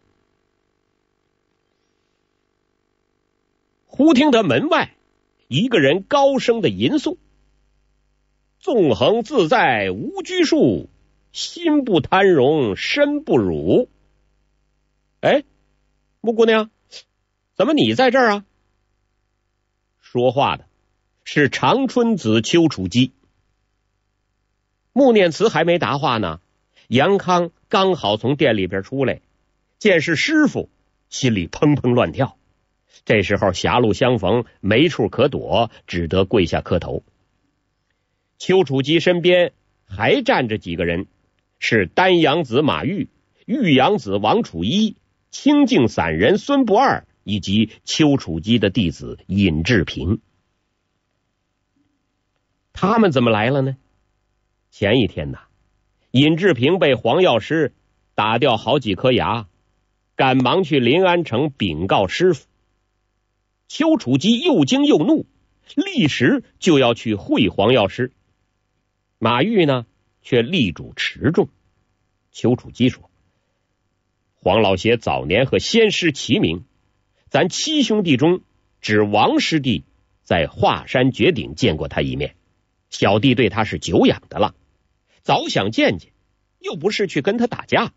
大师哥何必阻拦呢？”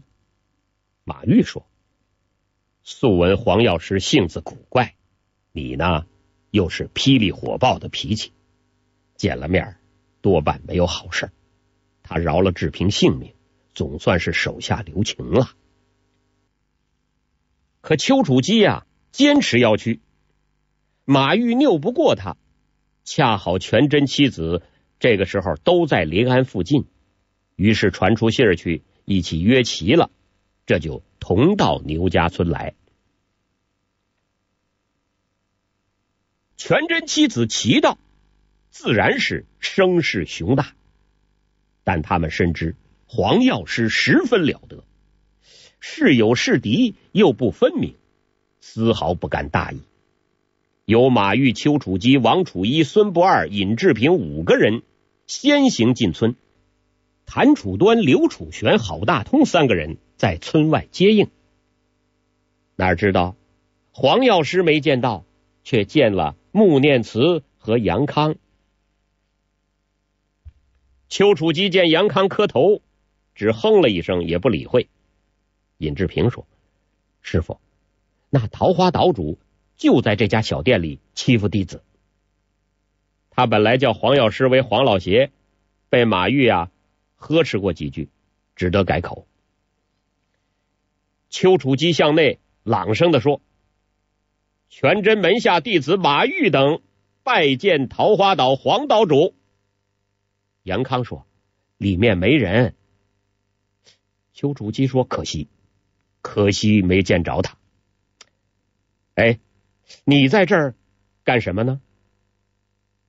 杨康见了师傅师叔，早已经吓得心神不定，一时说不出话来。华筝已经向马玉看了半天了，这时候跑上前来：“啊，你是那位？”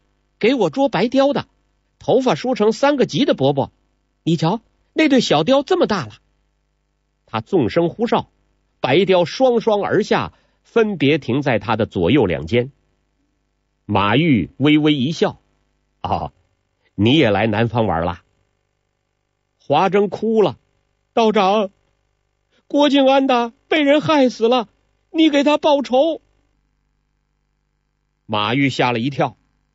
用汉语转述了，丘处机和王处一都大惊失色，忙问原因。华筝指着杨康说：“他亲眼所见，你们问问他。”杨康见华筝和大师伯相识，怕他们说话一多引起疑心，要骗过几个蒙古蛮子是不费吹灰之力，对着师傅和师伯师叔可不能这么信口开河。于是啊。就跟托雷、华筝说：“你们呢，在前面稍等片刻，我跟这几位道长说几句话，马上赶来啊。”托雷听了军官的翻译，点了点头，和众人离村北去。丘处机厉声说：“郭靖是谁害死的？快说！”杨康寻思：“郭靖明明是我赐死的，这嫁祸给谁好呢？”心里头一时盘算不定，忽然间想起，哎，我先说个厉害的人，让师傅啊去找他，自己送了性命，那就没有后患了。想到这儿，他恨恨的说：“就是桃花岛黄岛主全真七子啊！早知道黄药师在追杀江南六怪，郭靖死在他手。”那原是理所当然，没有丝毫的疑心呢。丘处机当即破口大骂黄老邪横蛮毒辣，绝不能跟他罢休。马玉和王楚一心里头非常伤感，黯然无言。忽然听到远处隐隐传来一阵哈哈大笑，跟着就跟破钵相击般的铿铿数响。其后又是一个人轻声呼叫，声音虽低，却仍然是听得清清楚楚。三种声音在村外兜了个圈子，疏忽又各自远去。马玉又惊又喜，哎，那笑声好像是周师叔所发的，他还在人间。只听得村东三个声音一齐呼啸。见笑渐远。孙不二说：“三位师哥追下去了。”王楚一说：“听那破钵般的叫声和低呼，那两个人似乎是在追逐周师叔。”马玉心里边有点担忧，那两个人功夫不在周师叔之下，不知是何方的高人呢？周师叔要是以一敌二，只怕……哎呀！说着，缓缓摇头。全真四子侧耳听了半天，声息全无，知道这些人早已经跑出数里之外，再也追赶不上。孙不二说：“啊，有谭师哥等三个赶去相助，周师叔就不怕落单了。”丘处机说：“就只怕他们追不上。”周师叔要知道咱们在这儿，跑进村来，那就好了。黄蓉听他们胡乱的猜测，心里头暗自好笑。我爹和老毒物只是和老顽童比赛脚力，又不是打架。要真打架，你们这几个臭牛鼻子上去相帮，那也不是我爹和老毒物的对手。他刚才呀，听丘处机大骂自己的爹，自然是很不乐意。至于杨康诬陷他爹杀了郭靖，反正郭靖好好的就在身边，他倒不在乎。马玉摆了摆手。众人进殿堂坐下。丘处机说：“哎，现在你是叫完颜康呢，还是叫杨康啊？”杨康见到师傅，一双眼金光闪烁，盯住了自己，神色非常的严峻，知道只要一个应答不对，就有性命之忧，赶忙说：“啊，呃，要不是师傅和马师伯、王师叔的指点。”弟子今天还蒙在鼓里认贼作父，现在弟子自然姓杨了。昨晚弟子刚和穆师妹安葬了先父先母。丘处机听他这么说，心里头高兴，点了点头，脸色呢，当时就大为和缓了。王楚一本来怪他和穆念慈比武以后不肯应承亲事，此时见二人同在一起。啊，估计好事成了，也就消了先前的恼怒之心。杨康取出刺杀欧阳克的半截枪头，这是先父的遗物，弟子一直放在身边。丘处机接了过来，在手里抚摸，大是伤怀呀，叹了几口气。唉，十九年前，我在这儿。和你父亲，还有你郭伯父相交，呼呼十多年了，两位故人都已归于黄土，他二人之死，实在是被我所牵累呀。我无力救你父母的性命，这是终生的恨事。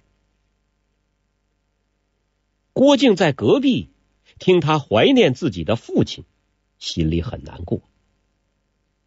邱道长还能和我父亲论交情，我却是连父亲的面也不得一见。杨兄弟能和他爹相会，比我强多了。丘处机又问黄药师怎么杀死郭靖，杨康是信口胡诌一番呢。马秋王三个人都和郭靖有交情啊，叹息不止。谈论了一会儿，杨康急着要去会见托雷华征，有点心神不宁。王楚一看看他，又看看穆念慈，你们俩已经成亲了吗？杨康说：“哦，还没有，还是早日成了亲吧。”邱师哥，你今天替他们做主办了这事儿，怎么样啊？黄蓉和郭靖对望了一眼。心说：“啊，难道今儿个又要旁观一场洞房花烛？”黄蓉又想，穆姐姐性子暴躁，跟那位程大小姐大不相同。她洞房花烛之前，说不定还得跟那姓杨的小子来一场比武招亲，打上一架。嘿，那倒也热闹好看。杨康说：“呃，全凭师尊做主。”穆念慈却说：“那得先依我一件事，否则绝不依从。”丘处机听了，微微一笑：“好，是什么事？姑娘，你说。”我义父是完颜洪烈那奸贼害死的，他得报了杀父之仇，我才能和他成亲。丘处机一拍手：“好啊！你瞧，穆姑娘的话。”真是说到了老道心坎里了，康儿，你说是不是啊？杨康大感踌躇，正在思索怎么回答呢，忽听门外一个嘶哑的嗓子粗声唱着《莲花落》的调子，又有一个尖细的嗓子夹着叫道：“老爷太太行行好，赏赐乞儿一文钱。穆念慈听声音好熟啊，转过头来，只见门口站着两个乞丐，一个肥胖，一个矮瘦。那个胖的总有矮小的三个那么大。这两个人身材特异，虽然相隔多年，穆念慈仍然记得是自己十三岁那年给他们包扎过伤口的两个乞丐。洪七公瞧他心好，因此呢，传过他三天的武艺。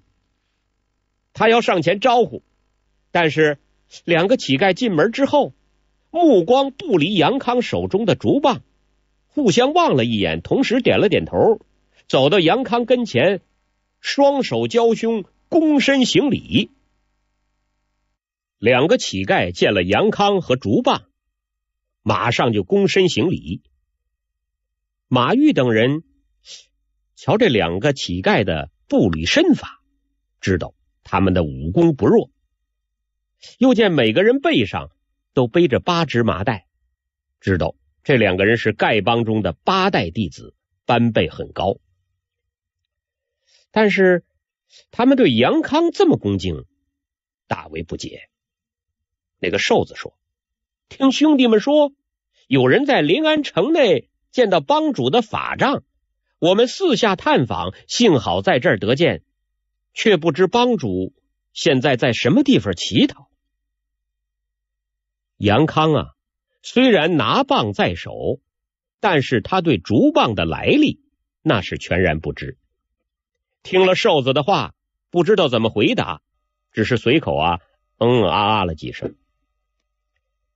丐帮中有规矩，见了打狗棒。如见帮主本人，两个乞丐见杨康不加理睬，神色更是恭敬。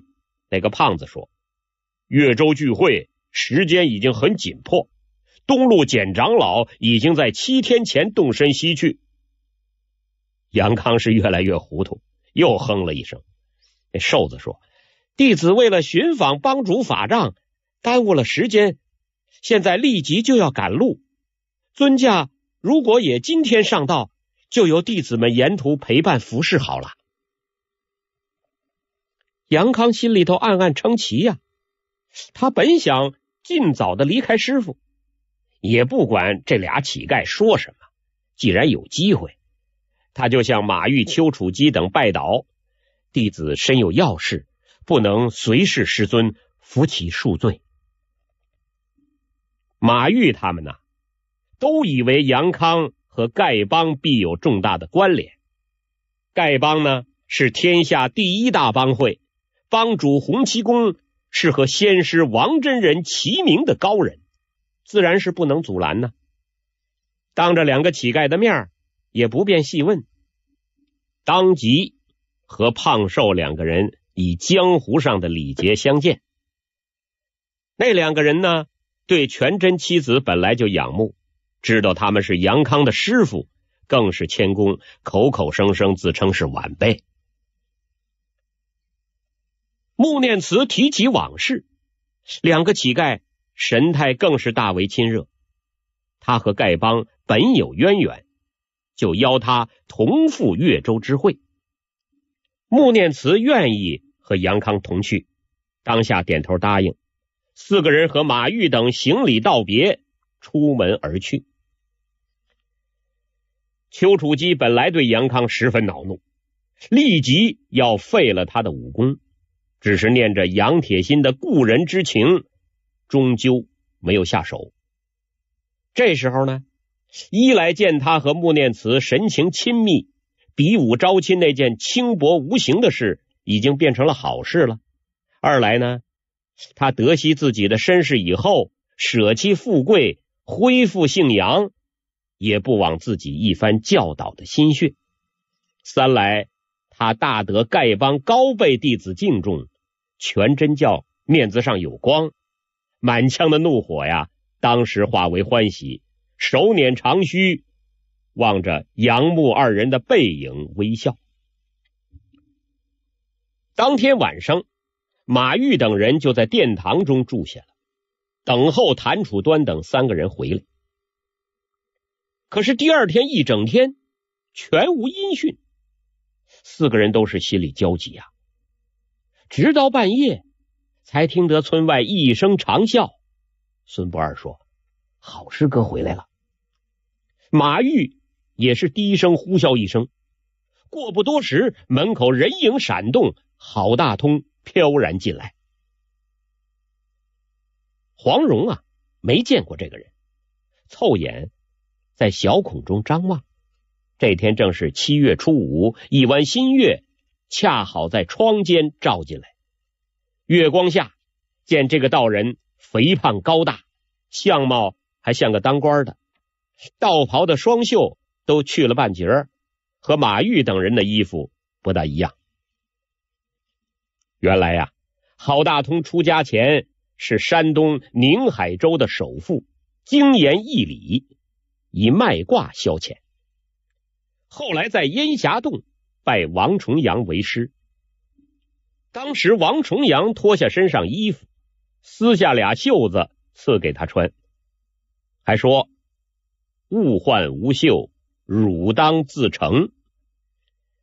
这个“秀”啊和“寿”在那个地方说话是一个音，意思是说，师傅教的法子多少还在其次，成道不成道，那在自己的悟性。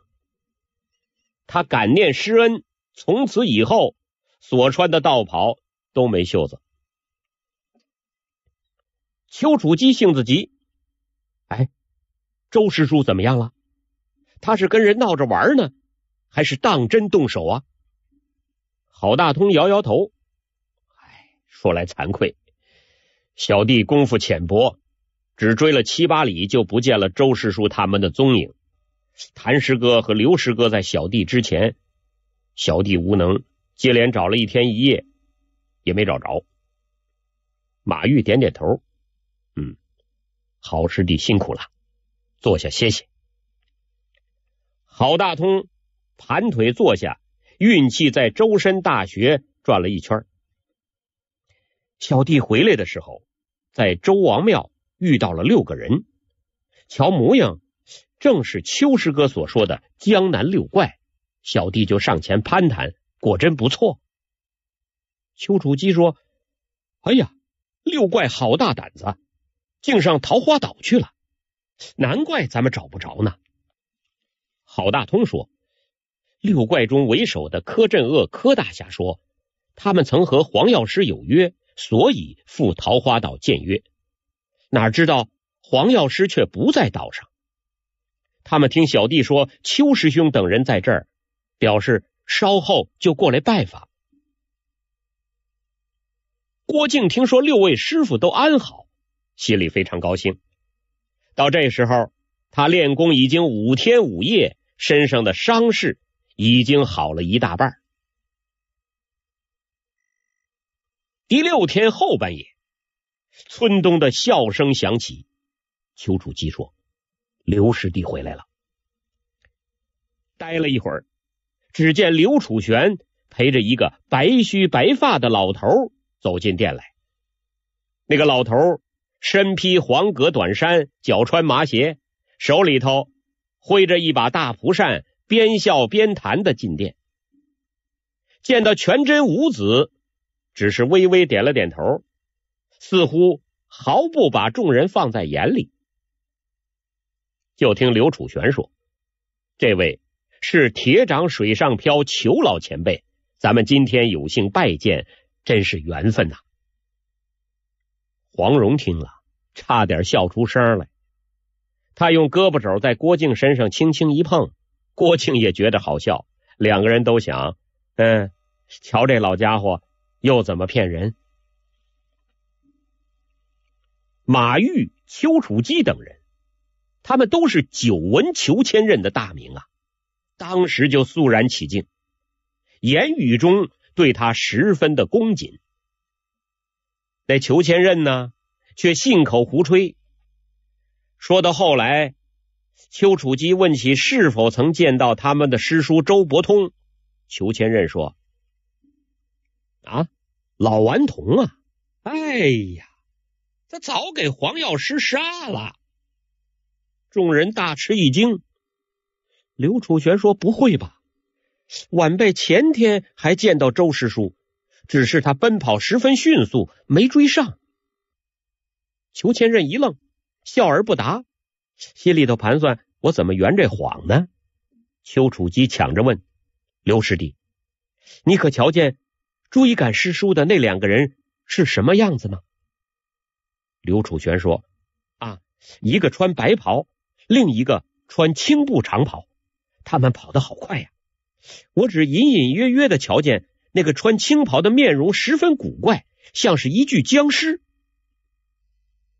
裘千仞在归云庄上见过黄药师，马上接口：“啊，是啊，杀死老顽童的，就是这个穿青布长袍的黄药师了啊！别人又哪有这个本事啊？我要上前劝阻，可惜迟了一步。哎，老顽童死的惨呐！”铁掌水上漂，裘千仞在武林中名声很响啊，那是大有身份的前辈高人。全真六子哪想到他是信口开河呀？一霎时，人人悲愤异常。丘处机把店里的桌子拍得震天响，又把黄药师骂了个狗血淋头。黄蓉在暗室里听着，恼怒异常。他倒不怪裘千仞造谣，只怪丘处机不该这么骂他爹。刘楚玄说：“谭师哥的脚力比我快，也许能够见到师叔被害的情景。”孙不二说：“谭师哥到这会儿还不回来，别也遭了老贼的。”说到这儿，脸色凄惨，住口不说了。丘处机拔剑而起。咱们快去救人报仇。裘千仞呢，怕他们赶去碰上周伯通，那不就露馅了吗？赶忙说：“哦，黄药师知道你们聚在这儿，眼下就会找来。这黄老邪奸恶之极，今天老夫实在是容他不得。我呀，我这就找他去。你们在这儿等候我的好消息吧。”众人尊敬他是前辈，不好违拗他的话，又怕在路上和黄药师错过，倒不如在这儿以逸待劳，等候敌人。当下一齐躬身道谢，送出门去。裘千仞跨出门槛，回身左手一挥：“啊，不必远送。那黄老邪功夫虽然厉害，我却有治他的办法。”你们瞧，伸手从腰里拔出一把明晃晃的利剑，箭头对准自己的小腹，嘿的一声，直刺进去。众人齐声惊呼啊！只见三尺来长的刃锋已经有大半扎进肚子里了。哎，扎进去没事儿。裘千仞还说呢：“啊，天下任何利器。”都伤我不得呀！各位不必惊慌，我此去啊，要是跟他错过了，黄老邪找到这儿，各位不必和他动手，以免吃亏。等我回来，我回来治他，没问题。丘处机说：“师叔之仇，做弟子的不能不报。”裘千仞叹了口气：“哎，啊，那也好。”哎，这是结束使然呐！你们要报这个仇，有一件事得牢牢记住。哦，请裘老前辈指点。裘千仞脸色非常的郑重，记住啊！一见黄老邪，你们立刻上去就打，千万不能跟他说话，一个字都不能说，否则此仇永远难报。要紧啊！记住了。说罢，转身而去。那把利剑还插在肚子里呢。哎呦！众人相顾骇然呐。马玉等六个人那都是见多识广啊，可这利剑扎进了肚子啊，居然还形若无事，实在是闻所未闻呐。心想，这个人的功夫，那是已经到了深不可测的境界了。他们哪知道啊？这又是裘千仞的一个骗人的伎俩。他那把剑共分三节，剑尖上稍一受力，第一二节立即依次缩进第三节之内。剑尖呢，嵌入腰带的夹缝，旁人远远的瞧，都以为。这个剑的锋刃已经大半刺进身体，这就跟现在变魔术的道具是一样的。裘千仞他是受完颜洪烈之聘，煽动江南豪杰相互火并，以利金人南下，所以呢，他才一遇机会立即传播谣言。这一天里呀。全真六子是坐立不安，茶饭无心，直守到初七的午夜。只听村北隐隐有人呼啸，一前一后，疏忽间到了殿外。马玉等六个人原本盘膝坐在稻草上吐纳练气，尹志平功力较低，已经睡了。听了呼啸声，一齐跳起来。马玉说。敌人追逐谭师弟而来，各位师弟小心在意。这一晚呀，是郭靖练功疗伤的最后一夜。这七天七夜之中，他不但已经把内伤逐步治好，外伤的创口开始愈合，而且和黄蓉两人的内功也已经有了进步。这最后几个时辰。正是他功行圆满的重大关键。黄蓉听到马玉的话，大为担忧。来的要是我爹，全真妻子势必和他动手，我又不能出去说明真相，只怕妻子都要伤在爹的手里。妻子的死活也不关我的事，只是靖哥哥和马道长等大有渊源，以他的性子。怎么能袖手不救呢？他要挺身而出，不但全功尽弃，性命也难保啊！想到这儿，他赶忙趴在郭靖的耳边：“靖哥哥，你务必答应我，不论有什么重大的事端，千万不能出去。”郭靖刚点了点头，这个呼啸之声已经来到门外。丘处机高声叫。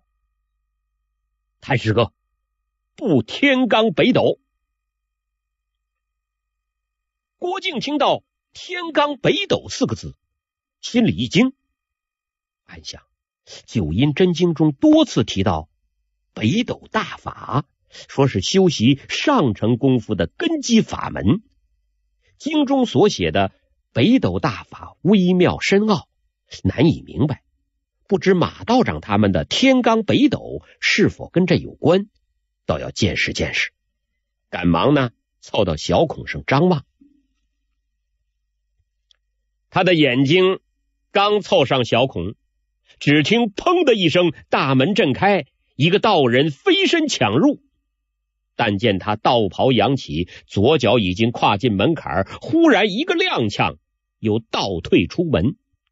原来呀。敌人已经赶到身后，动手袭击。丘处机和王处一同时飞身抢出，站在门口，袍袖扬处，双掌齐出，砰的一响，和门外的敌人掌力相接。丘王二人退了两步，敌人呢也倒退两步。谭楚端已经乘着空隙窜进门来，月光下。只见他头发散乱，脸上粗粗的两道血痕，右手的长剑只剩下了半截，这个模样很狼狈。谭楚端进门以后一言不发，当即盘膝坐下。马玉等六个人也都坐下了，就听得门外黑暗中一个女人的声音，阴森森的叫：“谭老道。”老娘若不是瞧在你师兄马玉份上，在道上早送了你性命，你把老娘引到这儿来干什么？刚才出掌救人的是谁？说给我梅超风听听。静夜之中，听着他这夜猫子似的声音，虽然是盛夏，众人的后背也都不禁微微感到一阵寒意。他说话一停，马上就寂静无声。门外虫声唧唧，清晰可闻。过了一会儿，就听得咯咯咯的一阵响。郭靖知道，这个声音发自梅超风的全身关节，他马上就要冲进来动手。又过一会儿，就听一个人缓缓的吟诵：“一柱行窝几十年。”郭靖听出这是马玉的声音，语调很平和。谭楚端。接下去，蓬头长日走如颠，声音很粗豪。郭靖细看这位全真妻子的二师兄，见他浓眉大眼，身形魁梧。原来呀，谭楚端出家前是山东的铁匠，归全真教后，道号长真子。第三个道人身形瘦小，面目就像猿猴，那是长生子刘楚玄。只听他吟道：“海棠亭下重阳子，长春子丘处机接口。莲叶舟中太乙仙。”玉阳子王楚一说：“无物可离，须可外。”广宁子郝大通的声音：“有人能悟，未生前。”清净散人孙不二说：“出门一笑无拘碍。”马玉说最后一句：“云在西湖，月在天。”梅超风听着七个人吟诗的声音，都是中气充沛、内力深厚，暗暗心惊啊！难道全真七子又聚会在这儿？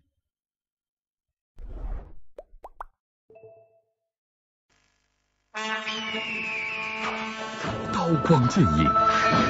侠骨丹心，金庸长篇武侠巨著《射雕英雄传》全书二百一十一回，演播汪良，欢迎您继续收听。梅超风听全真七子吟诗的声音，个个中气充沛，内力深厚，暗暗心惊。难道全真七子又聚会在这儿？不，除了马玉，其他人声音都截然不对。他在蒙古大漠的悬崖绝顶，曾听过马玉和江南六怪冒充全真妻子的说话声音。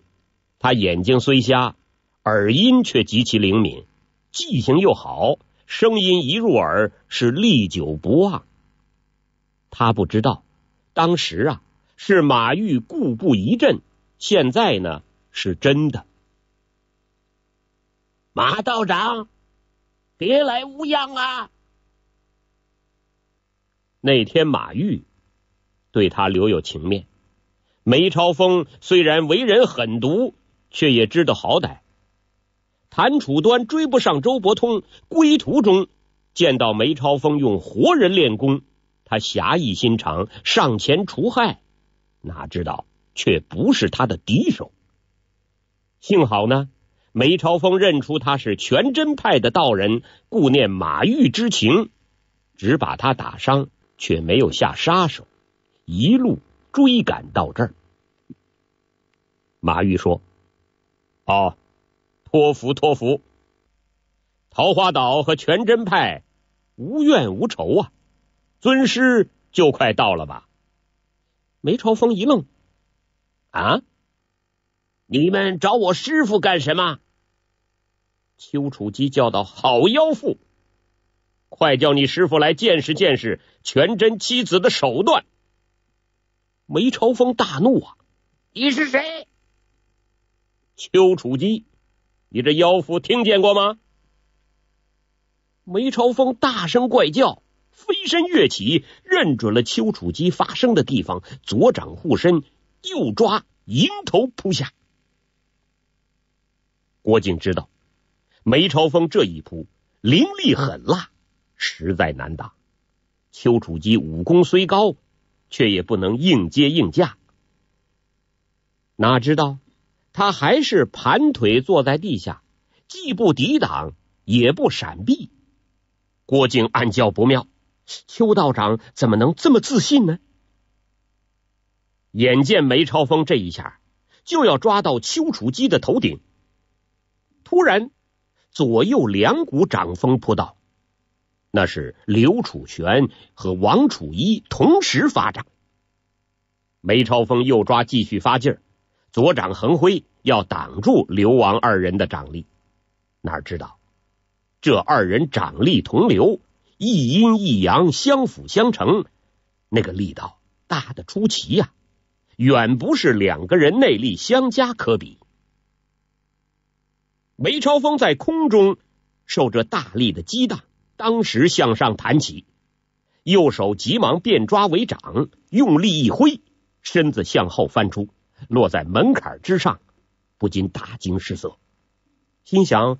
这两个人功夫如此高深，绝不是全真七子。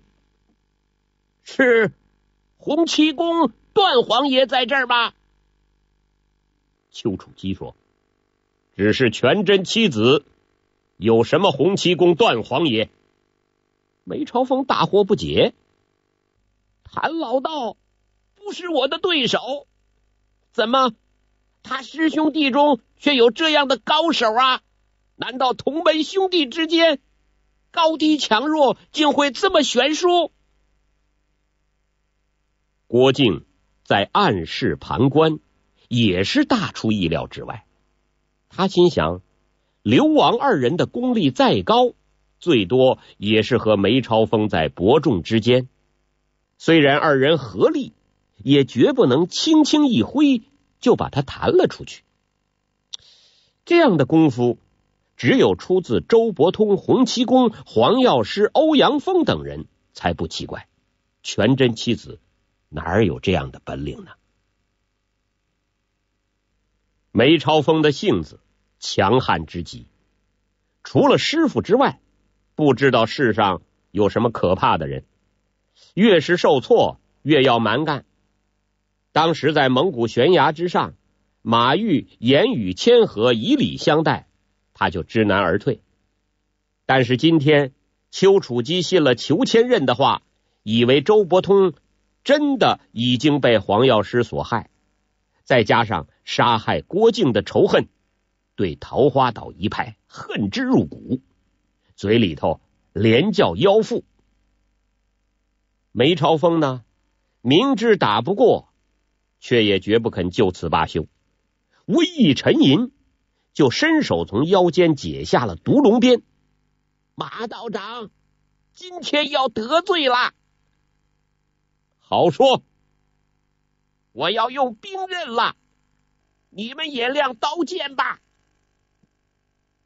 王楚一说：“我们是七个，你只一个人，眼睛又不能看东西，全真七子再不行，也不能跟你动兵器。”我们坐着不动，你进招吧。梅超风冷冷的：“你们坐着不动，就想抵挡我的银鞭？”丘处机骂他：“好妖妇！今天晚上就是你丧命的时刻，还多说什么？”梅超风哼了一声，右手一挥。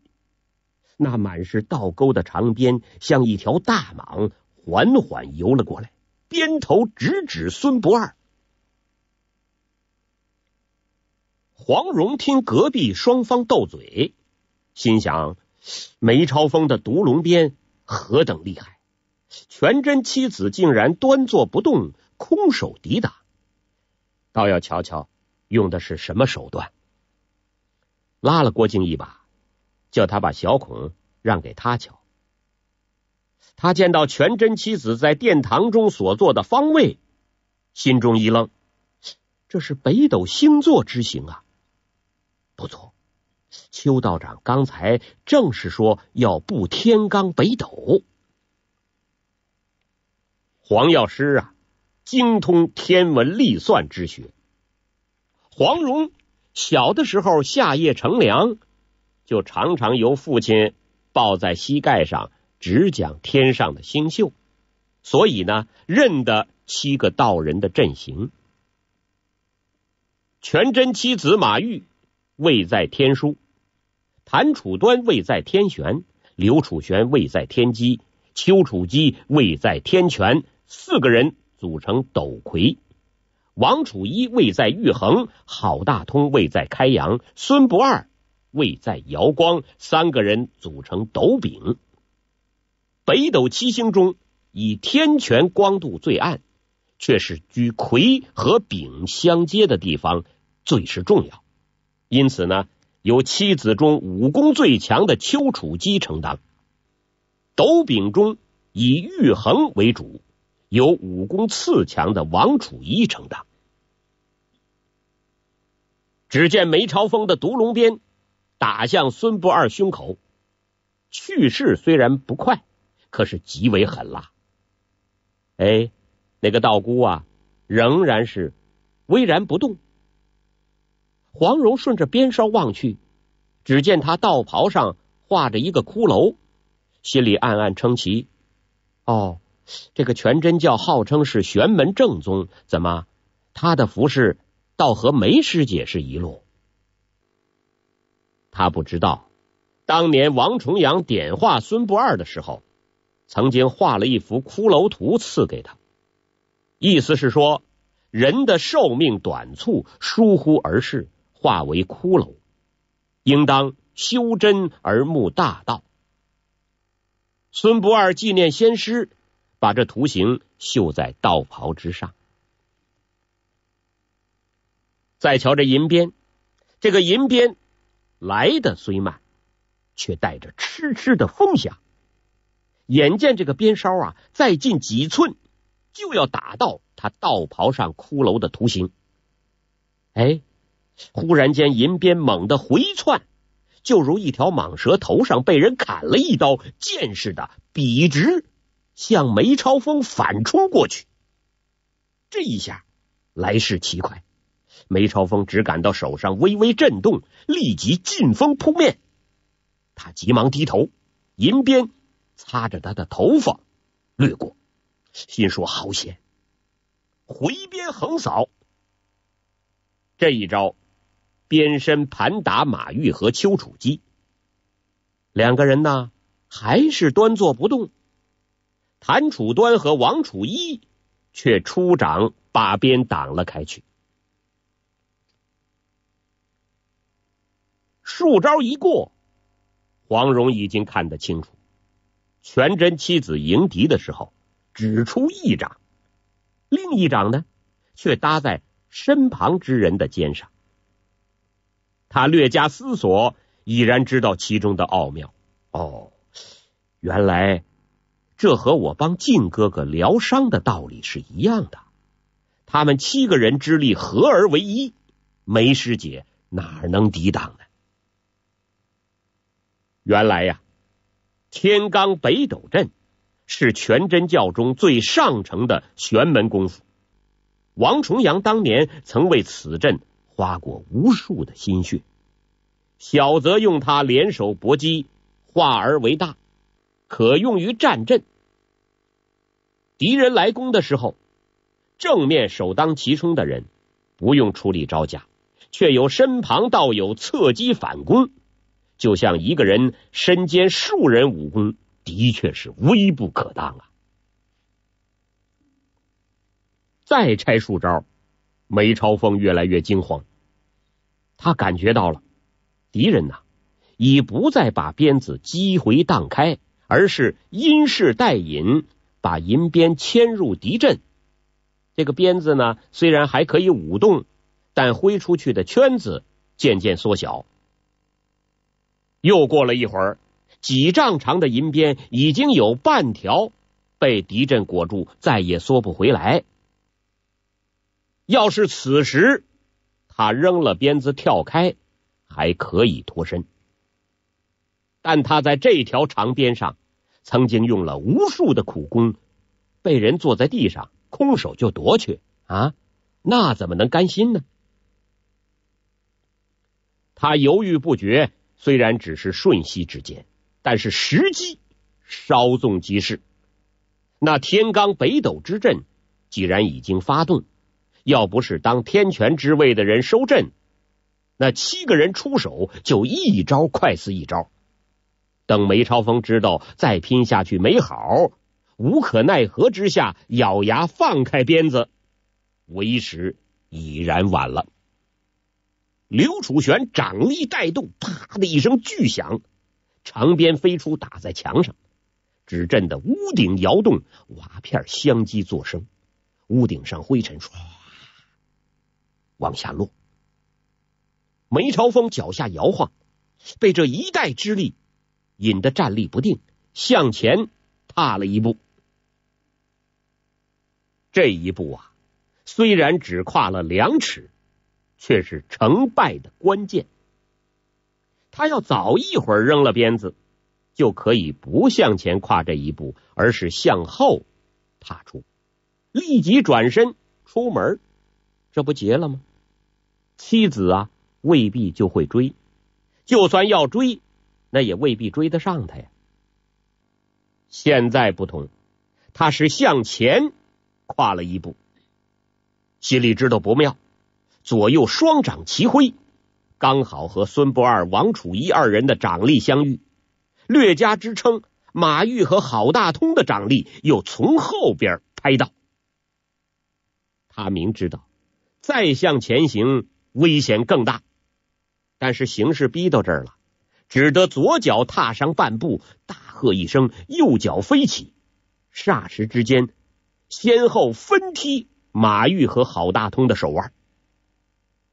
丘处机、刘楚玄同声喝彩：“好功夫！”也是一先一后的出掌解救。梅超风右脚没落，左脚又起，虽然闪开了丘刘二人的掌力。但右脚落下的时候，又踏上了一步。这一来，已经深陷天罡北斗阵中。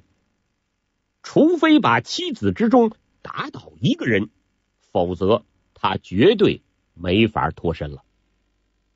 黄蓉看得暗暗心惊啊！昏黄月光下，只见梅超风长发飞舞，纵跃来去，掌打脚踢，举手投足。都隐隐的夹带风声，就像虎跃暴翻一般。